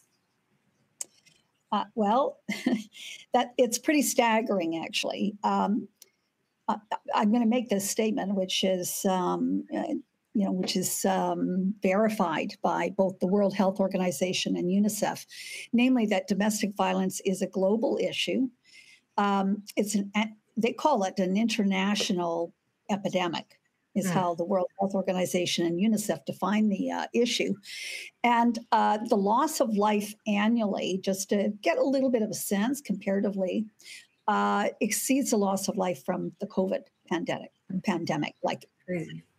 Every month, every day, every week, every year. Um, so the statistics suggest that approximately one third of all women are victims of domestic violence during their lifetime. And really, that translates uh, to, you know, that every three women that you and I know, uh, mm-hmm. whether you, you, know it's a sister or a mom or a friend or a colleague or somebody, a team member in your dental office, one of them's been a victim of IPV, and um, uh, you know, so um, you know, really is a huge um, issue. And COVID uh, COVID has increased isolation, has increased the ability of uh, the abuser to isolate the individual in the home. Um, unemployment is is higher, uh, so there's a lot of more stress that's in the family. And so where you have domestic abuse, anyways, uh, in the family situation, uh, with COVID, it's become a more prevalent. Uh, I think that I think the number is something like 8.1 percent higher uh, wow. during COVID than uh, than previously. So, and and that's been described uh, in the media as an epidemic within an epidemic. Um, I know that you know uh, the statistics are pretty scary as well with SUD. Can you tell us a little bit more about those yeah. statistics? Yeah. So, you know, with um, you know what's been uh, kind of hypothesized and analyzed is that there's about 23.5 million Americans with a substance use disorder, and as you kind of narrow down those statistics, Jocelyn, 23.5 million means that it's roughly one out of every 10 Americans, which means that roughly one out of every 10 dental professionals, right, has a substance use disorder.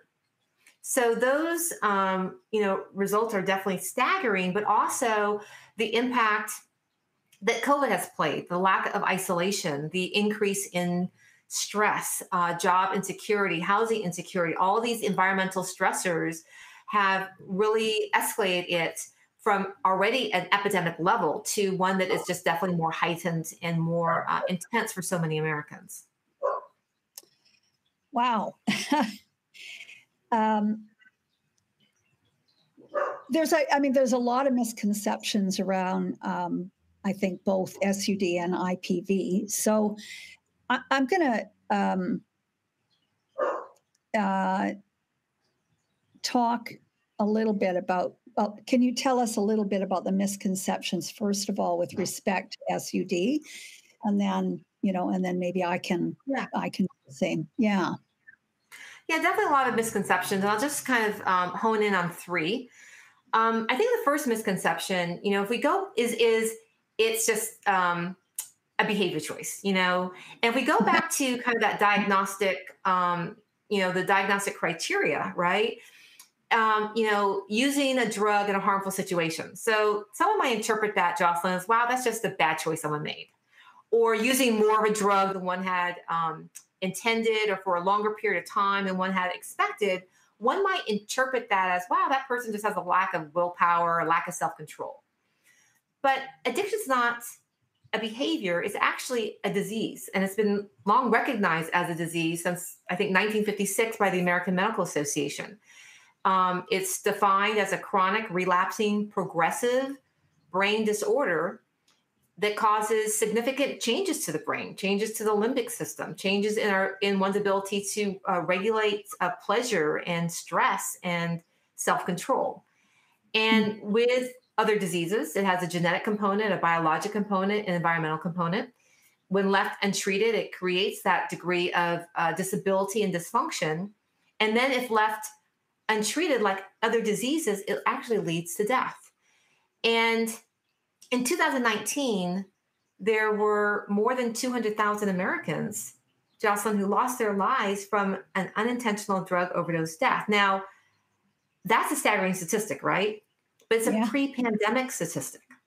So, you know, similar to what you had alluded to um, in 2020, March, the global pandemic collided with our nation's epidemic of addiction. And by the end of 2020, there was a 29% increase in drug overdose deaths in this country. And that's like the single greatest increase in drug overdose deaths ever recorded in this country. So the first misconception is this is just a behavior. It's not, it's a disease. The second misconception is who does this impact? And addiction is indiscriminate. It's um, doesn't uh, just pick out a certain socioeconomic class or certain uh, race or whatever. It impacts um, all boundaries that we have in society. You know, people who have, are, are wealthy have substance use disorders, as well as people who are not. People who are educated, people who are not educated. I think we have in our mind who that person is. You know, that is that person under the bridge, or it's the person, people that I treat at the jail. But it's in all sectors of our society and it's in our practice, it's in our population, it's in our profession. So that's the second misconception of who it impacts. The third misconception is, you know, it's super easy to treat. You know, someone can just stop at any time. And the reality is, is that addiction is something that really takes a stronghold on on on, on brain and self-control and, and pleasure. And um, people oftentimes have to go through many cycles of recovery and relapse before they can experience long-term sobriety. So I would say those would be the the misconceptions that I would want um, those listening to know. But Jocelyn, um, can you piggyback on that and just kind of share, kind of with us and with me, what are the misconceptions around intimate partner violence? Well, similar similar to what you've just talked about. Actually, there's you know there's a lot of intersections in terms of the misconceptions. Um, and I know you probably only touched on a few, and I'm going to do the same. I'm really going to try and focus on the top three misconceptions that, in my mind, uh, are important to get people to start thinking about. Um, and uh, the first is that domestic violence is a private family matter. Um, Mm-hmm. it, it, it's not. I mean, you know, the very uh, simple answer to that is it's everyone's business, and it's everyone's business uh, because of the prevalence, because of the impact on the world, because the impact on our children, the impact on our economy. Uh, I mean, it's it's absolutely costing billions in the United States alone. Um, uh, the impact of of violence. Um, whether it be you know hospital visits or children who uh, now require um, special assistance because their brains were compromised in utero and the like. So keeping violence secret doesn't help anybody. and it isn't uh, a family matter. Um, it's bad. This is the other concept, and you've already touched on that with SUD, so I, I won't belabor it. Uh, the idea that yeah, it's bad, you know, but it, it happens to someone else. It's that Right. whole not in my backyard. It's not in my culture, not in my um, socioeconomic situation, not in my church, um, and so on. So you've already talked about that, but uh, what I um, what I do want to say is I personally, in my career, have um, prosecuted a judge in one case. I've prosecuted a politician. I've prosecuted police officers.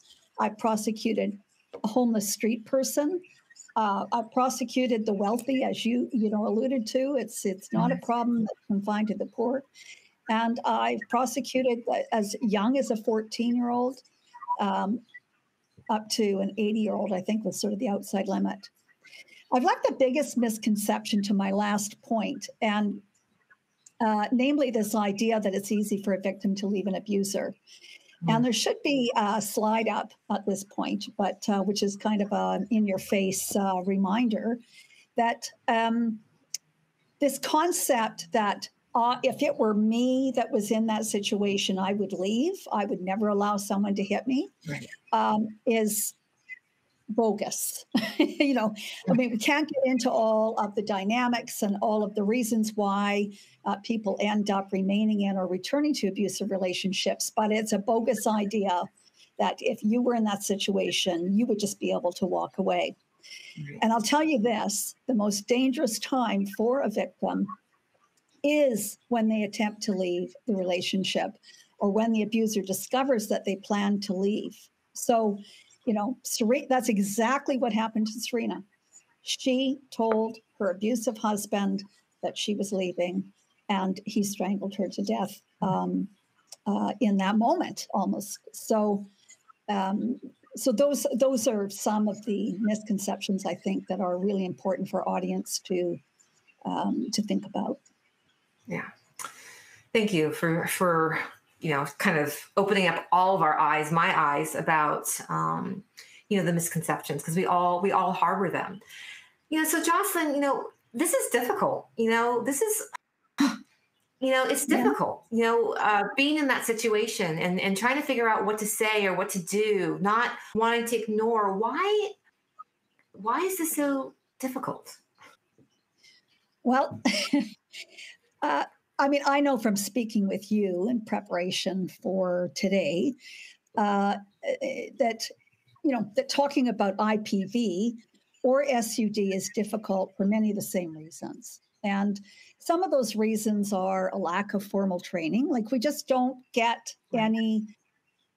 I mean, even in high schools, you know, where, where really, in my opinion, they should be talking about dating relationships and about good relationships, behavior, and that. Because they don't, right? It doesn't happen.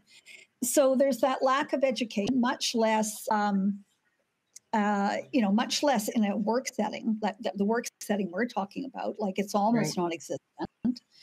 Uh, there's a limited knowledge of um, the issues or even you know what it is that un, you know understanding what, what are we looking at what are we seeing when serena you know jokingly laughs off something which um, an injury to the throat or um, even if even if it were consensual rough sex uh, is dangerous conduct right um, we don't know what to say. We're, you know, we don't want to offend, right?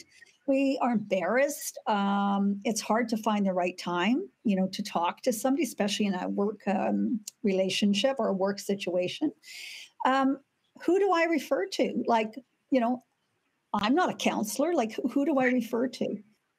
And you know, and you you said this uh, before or early in our conversation. Not my business, right? Just not my business. So I'm going to ask you to, you know, I know there are a lot of similarities. I may have missed some though in terms of SUD. Can you add any other observations through your lens? Well, I think you pretty much highlighted. I think they're very similar. You know, lack of education. Most dental schools, most dental hygiene schools devote, Don't know, less than 10 hours in over a four year period of time on kind of pre doctoral education around chemical dependency, substance use disorders. So the typical hygienist, dentist graduating from dental school, like I did that October day, don't really know what to do or what to say. Um, we are have that fear of offending, and I think we also think that we have to fix this problem. So as a result, you know, Jocelyn, um, when we are confronted with those moments, we're silent.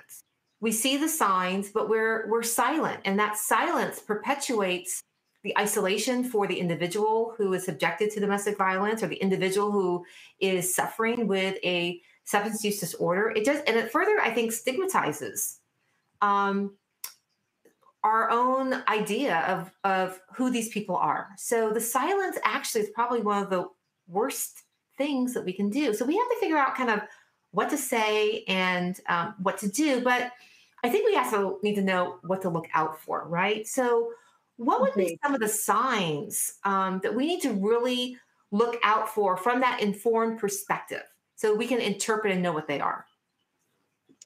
Okay, well, I'm going to start uh, again, now, not to bore everybody, but with a couple more statistics.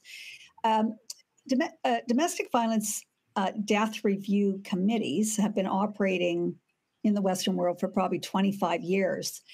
And uh, they have determined that in 75% of all domestic homicides that they have actually examined in a very detailed, in depth way, um, seven or more risk factors were present in those cases.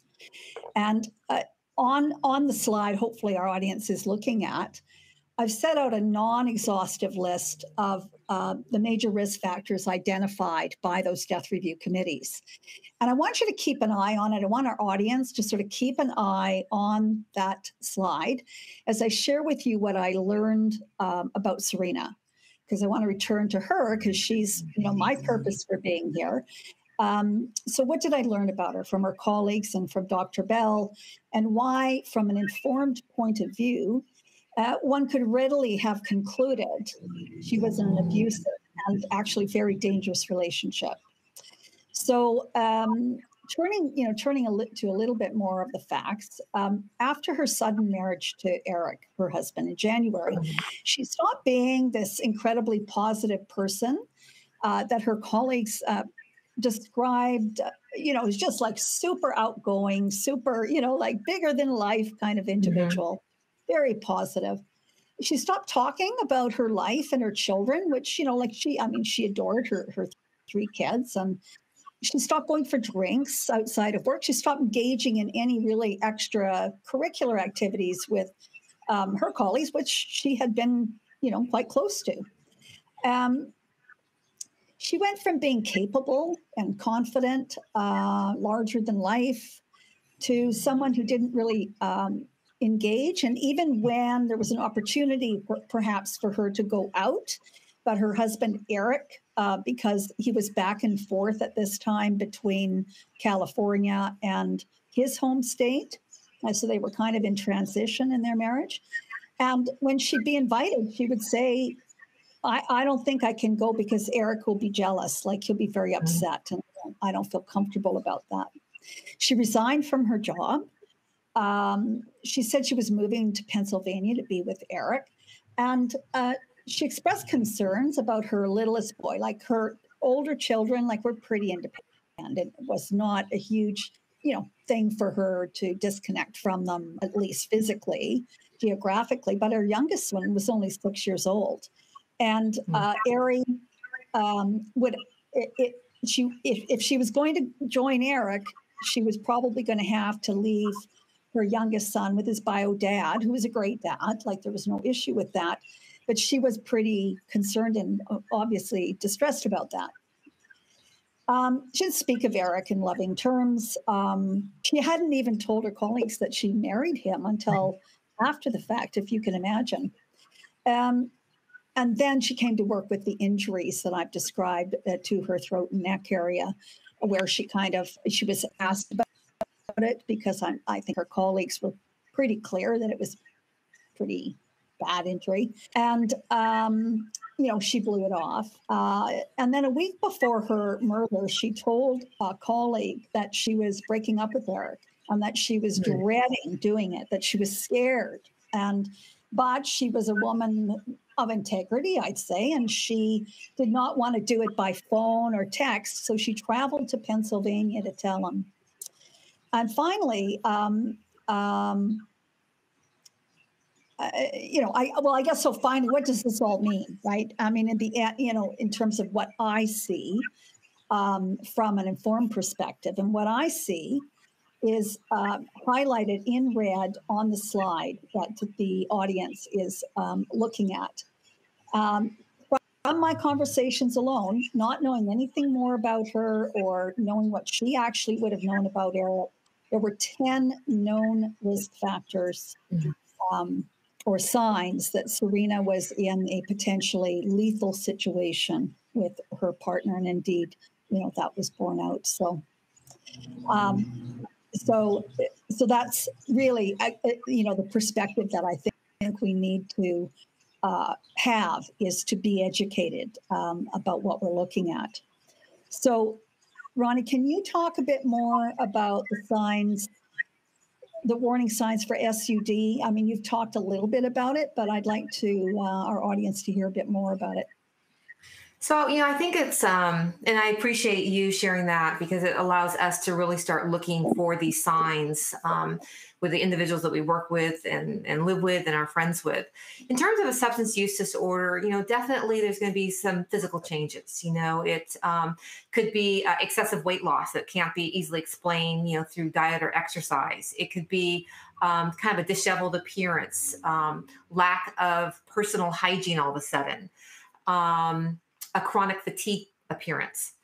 In terms of behavior, you know, um, someone who, as kind of described with Serena, who was kind of bubbly and confident, all of a sudden becomes very uh, withdrawn or easily agitated or um, irritated. Um, they may disappear for periods of time, you know, spending excessive amounts of time uh, in the bathroom or just they're they're missing, uh, don't know where they are. Um, physically, you might uh, detect an odor. So, you know, we know what the smell of alcohol smells on someone's breath. Uh, a vinegary smell is very indicative sometimes of heroin use. Uh, very ammonia like smell, very common with methamphetamine use. So, it might also have a kind of odd presentation or odor. And then socially, um, all of a sudden their, their friend group has changed.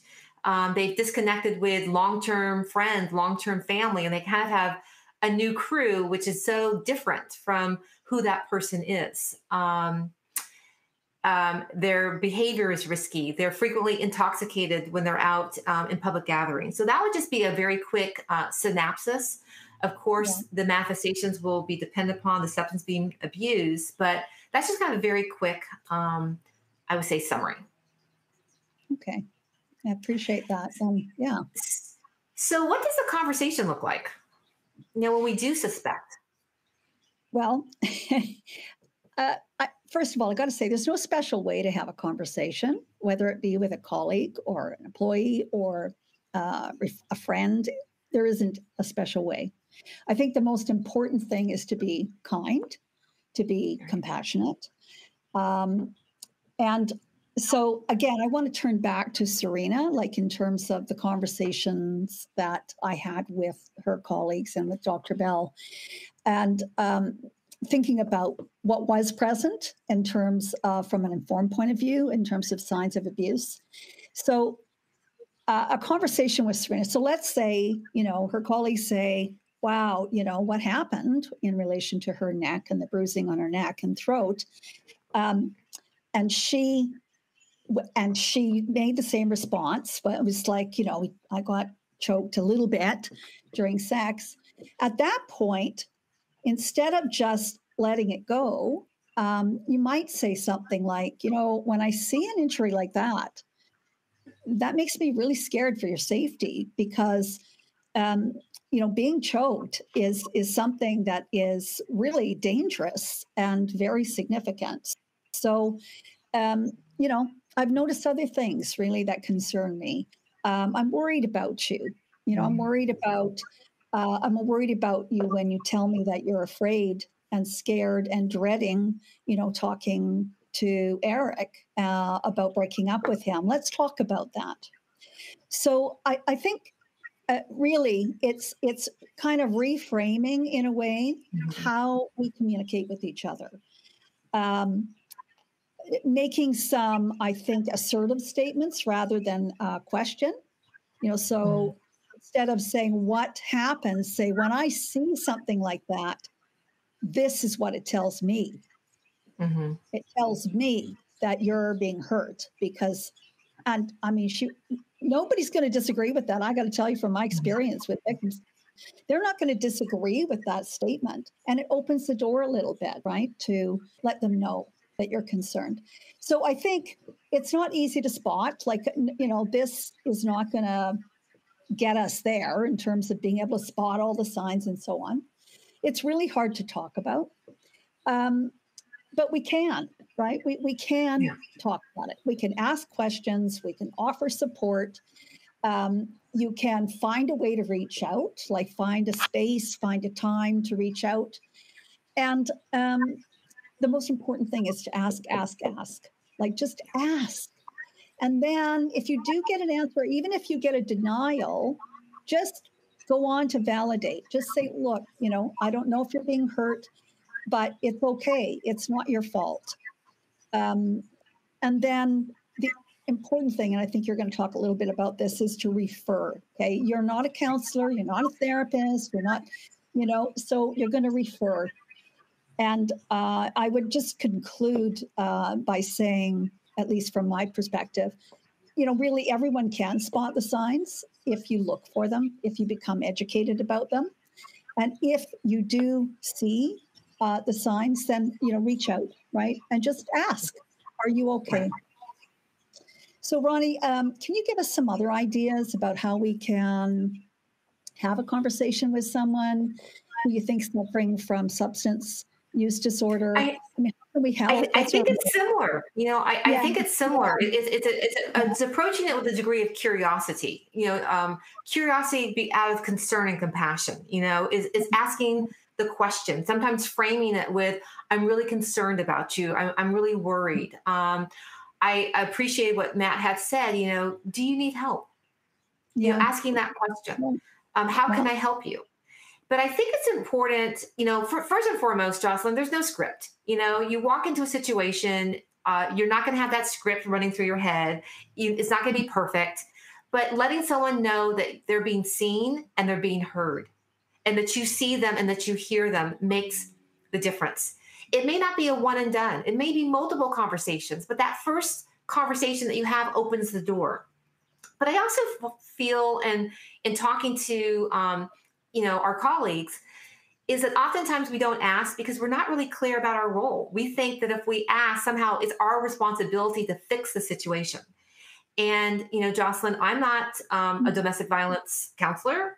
Um, I'm not a substance use counselor. You know, I, so my job though um, is to refer, and that's Yes. really my role. And so I want people to know that in these conversations, you're not having a conversation because now you're you're taking the onus of it. You're having to solve this.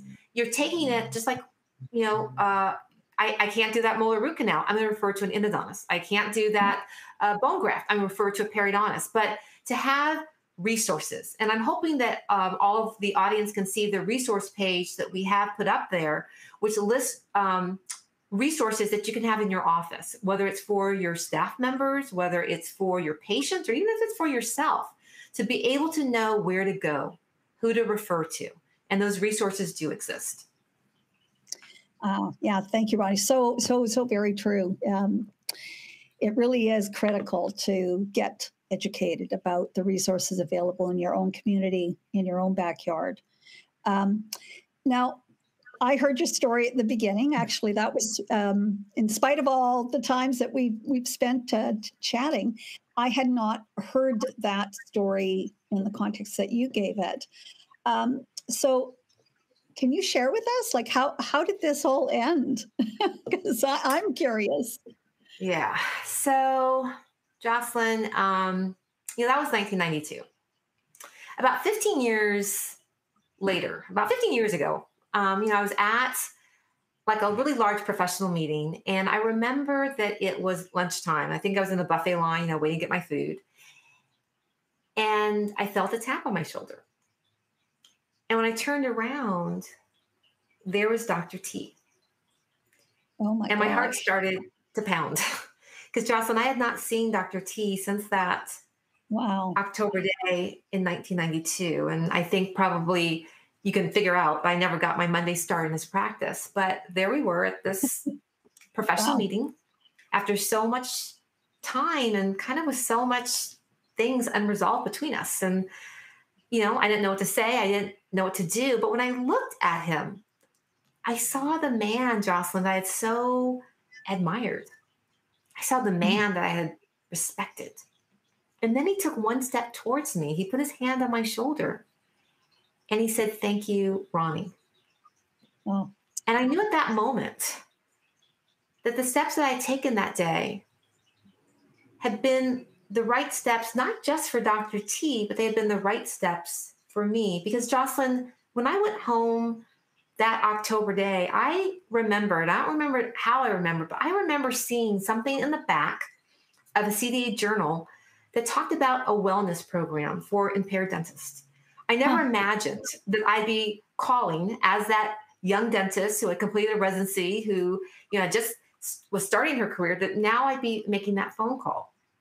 But when I made that call, and it was one of the most difficult uh, calls to make, on the other end of the line was a dentist who was very compassionate, who reassured me that I had made the right decision, who listened to what I shared with him, what I had seen when I walked into the office, who verified that this was a dentist who was indeed in need of help. I was reassured that the call would be confidential. I was reassured that they had systems in place to help him find a path to recovery.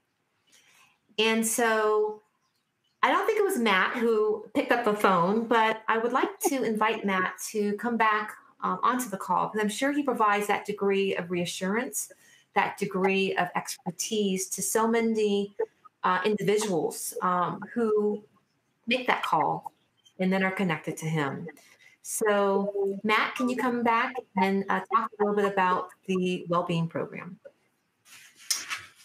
I sure can. Wow. Thank you, Ronnie and Jocelyn. That is just powerful information.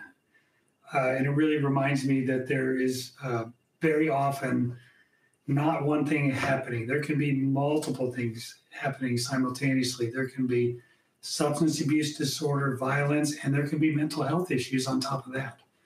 So, uh, what does it look like? I was not the guy that Ronnie called, by the way. That was my predecessor. And it, I want to take a few minutes to sort of lead up to how we got to where we are today as a committee.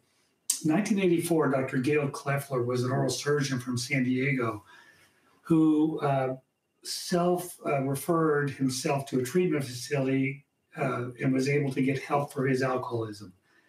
Part of what we do once we get sober is we do our best to help others because that helps us stay sober. Uh, Ronnie talked about the relapse potential uh, in substance abuse disorders. This is how we take care of ourselves by passing it on.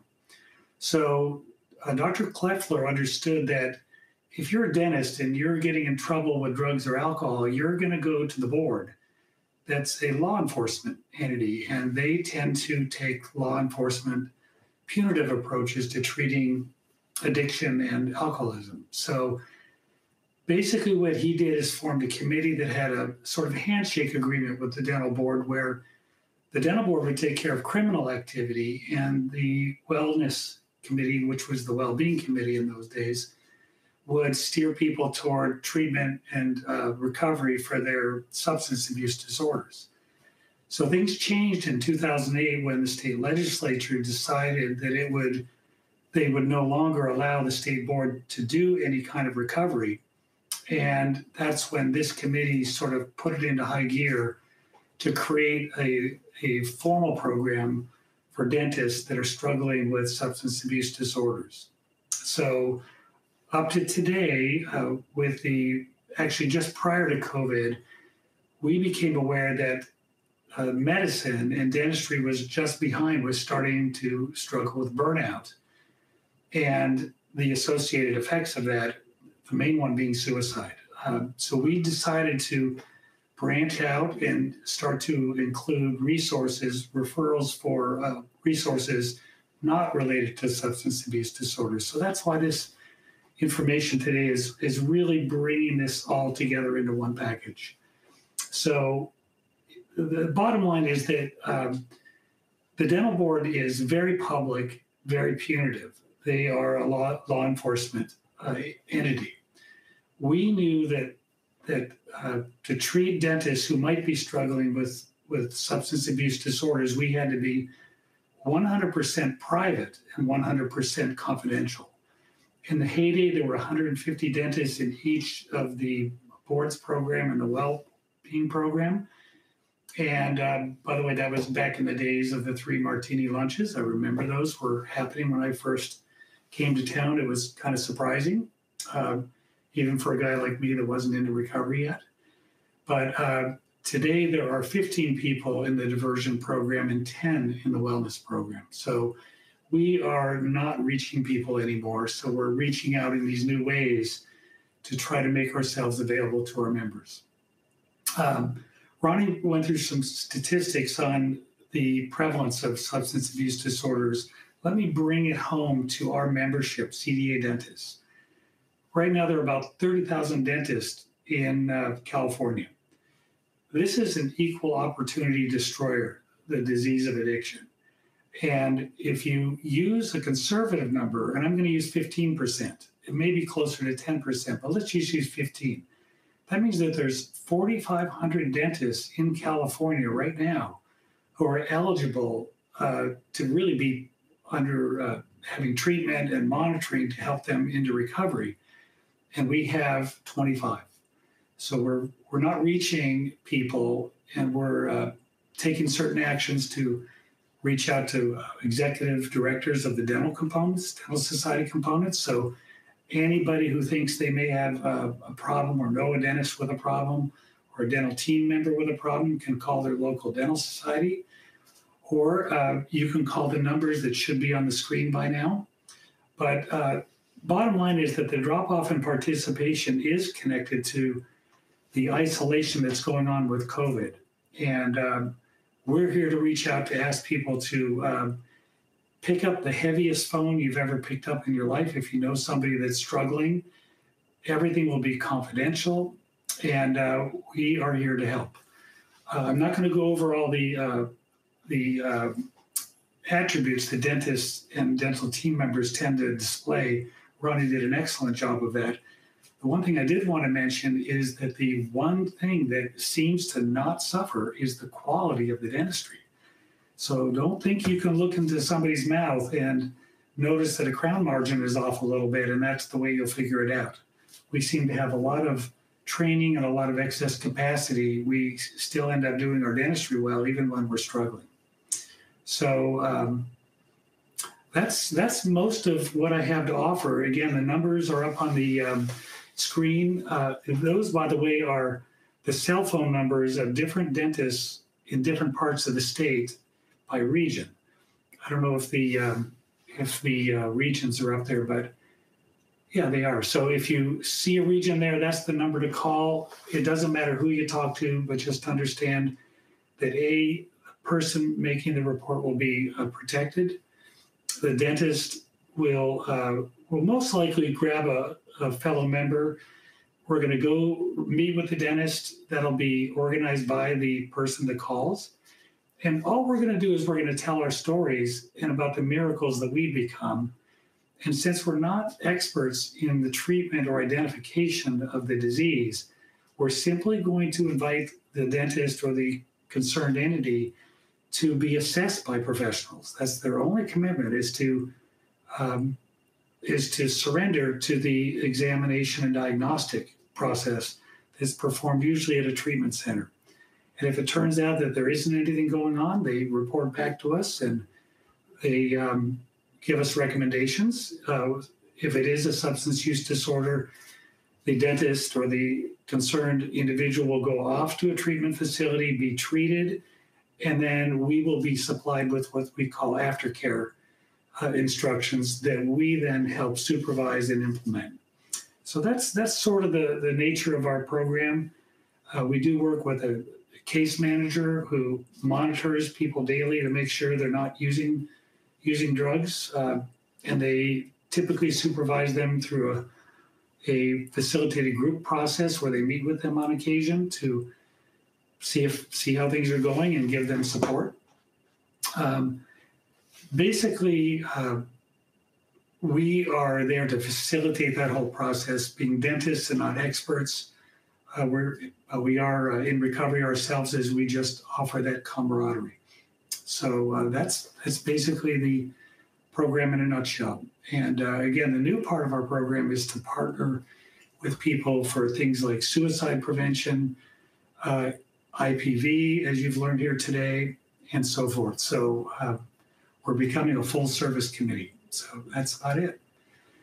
And with that summary complete, what I'd like to do is welcome back Dr. P. Hope you're still there and uh, you can take us Thank home. you. Thank you, Matt. Amazing. Um, you know, in my history in running a hospital based program, I also uh, ran a diversion program. Uh, and it's for it was for professionals, and we saw all kinds of professionals, and some of whom you'd think it was scary to think they needed it or scary for them to step forward. You know, pilots, for example. Um, and the fact that it's there, the fact that the resources are there, it's so important. So, what an incredible few hours we've had. I mean, this has been truly, truly so amazing. The CDA to put this together. Um, I'm appreciative. I'm inspired. I'm in awe. Uh, some of this has been inspirational. Some of it has been scary. Uh, and all of it, all of it leads us back to hope. To hope. Remember to start with mindset and to pull out the magic formula mindset, accountability, gratitude, inspiration, and clarity.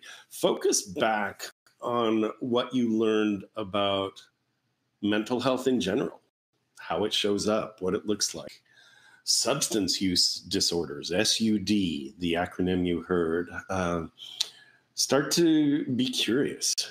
Start to look at issues of domestic violence or IPV. And do not let stigma be the thing that stops anyone. Not you and not those you know from getting the support they need. It's up to each of us to have that conversation so that we can overcome stigma, which is really a killer. Remember that self care, this is uh, uh, about you. Self care is where you start. Think about what you can do for yourself and how you can integrate some of the exercises you learned today. How can you integrate those into your daily routine? Remember that when we get triggered by something, it's because it pushes on our identity, right? It could be something that someone says or something that someone does. If you're offended or feeling blamed or shamed, it's okay to say something. And remember that the thing that's triggering you is probably more about the other person than it is about you. So take some time tonight to reflect on your triggers if you're feeling like you have to go or do something because there's this thing boiling up inside of you, it's good to know what they are. The key here is in identifying what your personal triggers are and having a response ready before it happens. What are you going to do the next time you find yourself overwhelmed, frustrated, or angry? What's your plan? And plan is the key here. So, will it be that you're reaching out to someone or taking yourself out of the environment for a little while? Will it be seeking a more creative outlet, journaling, or playing music? I'm going to suggest you have language and a script ready to go. Reflect on your triggers and have a plan. The script could be something like I have a different opinion and I choose not to be in this conversation right now. That's especially important around the holidays. Um, there's all kinds of triggers coming up. So reflect on your triggers and develop a plan for yourself. Um, don't just let tonight be a, a bunch of good ideas.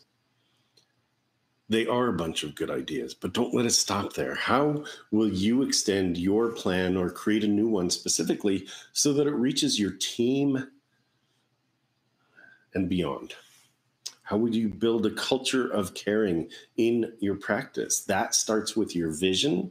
It starts with your values. And you, when you align your vision with your values and turn that into action, and you ask how people are doing, and you ask in an interview for people to describe things that aren't potentially a normal interview, as, as long as that's not part of a, an interview, uh, make it or break it kind of question, ask the new hires as part of bringing them on board. One thing uh, that we heard today that will help you to lead your team in daily or uh, is to lead your team in daily or weekly mindfulness exercises. Like, have a plan for doing that. Bring your team together. And if you're not comfortable doing that yourself, certainly there may be somebody on your team that is, or you could bring in outside experts. Taking just a few minutes to allow space for mental wellness for your team will bring a space of calm and peace. We all felt that. Uh, I know whether you participated in in Dr. Garceau's exercises or just watched and felt the the vibe flowing through the screen we all felt more calm and more peace and doing that together does build a beautiful and trusting culture. Jocelyn and Ronnie spoke about compiling and making resources easy for your team to access in your practice. Now we will make those resources available to you after the session, and some of the resources, uh, the other resources that our speakers talked about today, will be on the CDA website and available for download.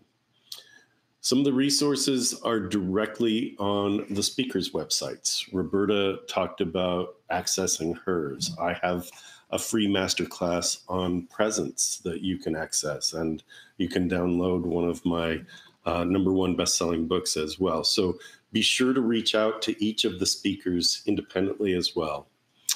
Um, you will also be able to access this recording after the event. I'm happy to be able to tell you that. And remember that one of the most important resources that you heard about today is the CDA Wellness Committee. Matt and his committee are here for you. So I'd like to leave you with one final challenge, and that is to create a culture of caring in your practice.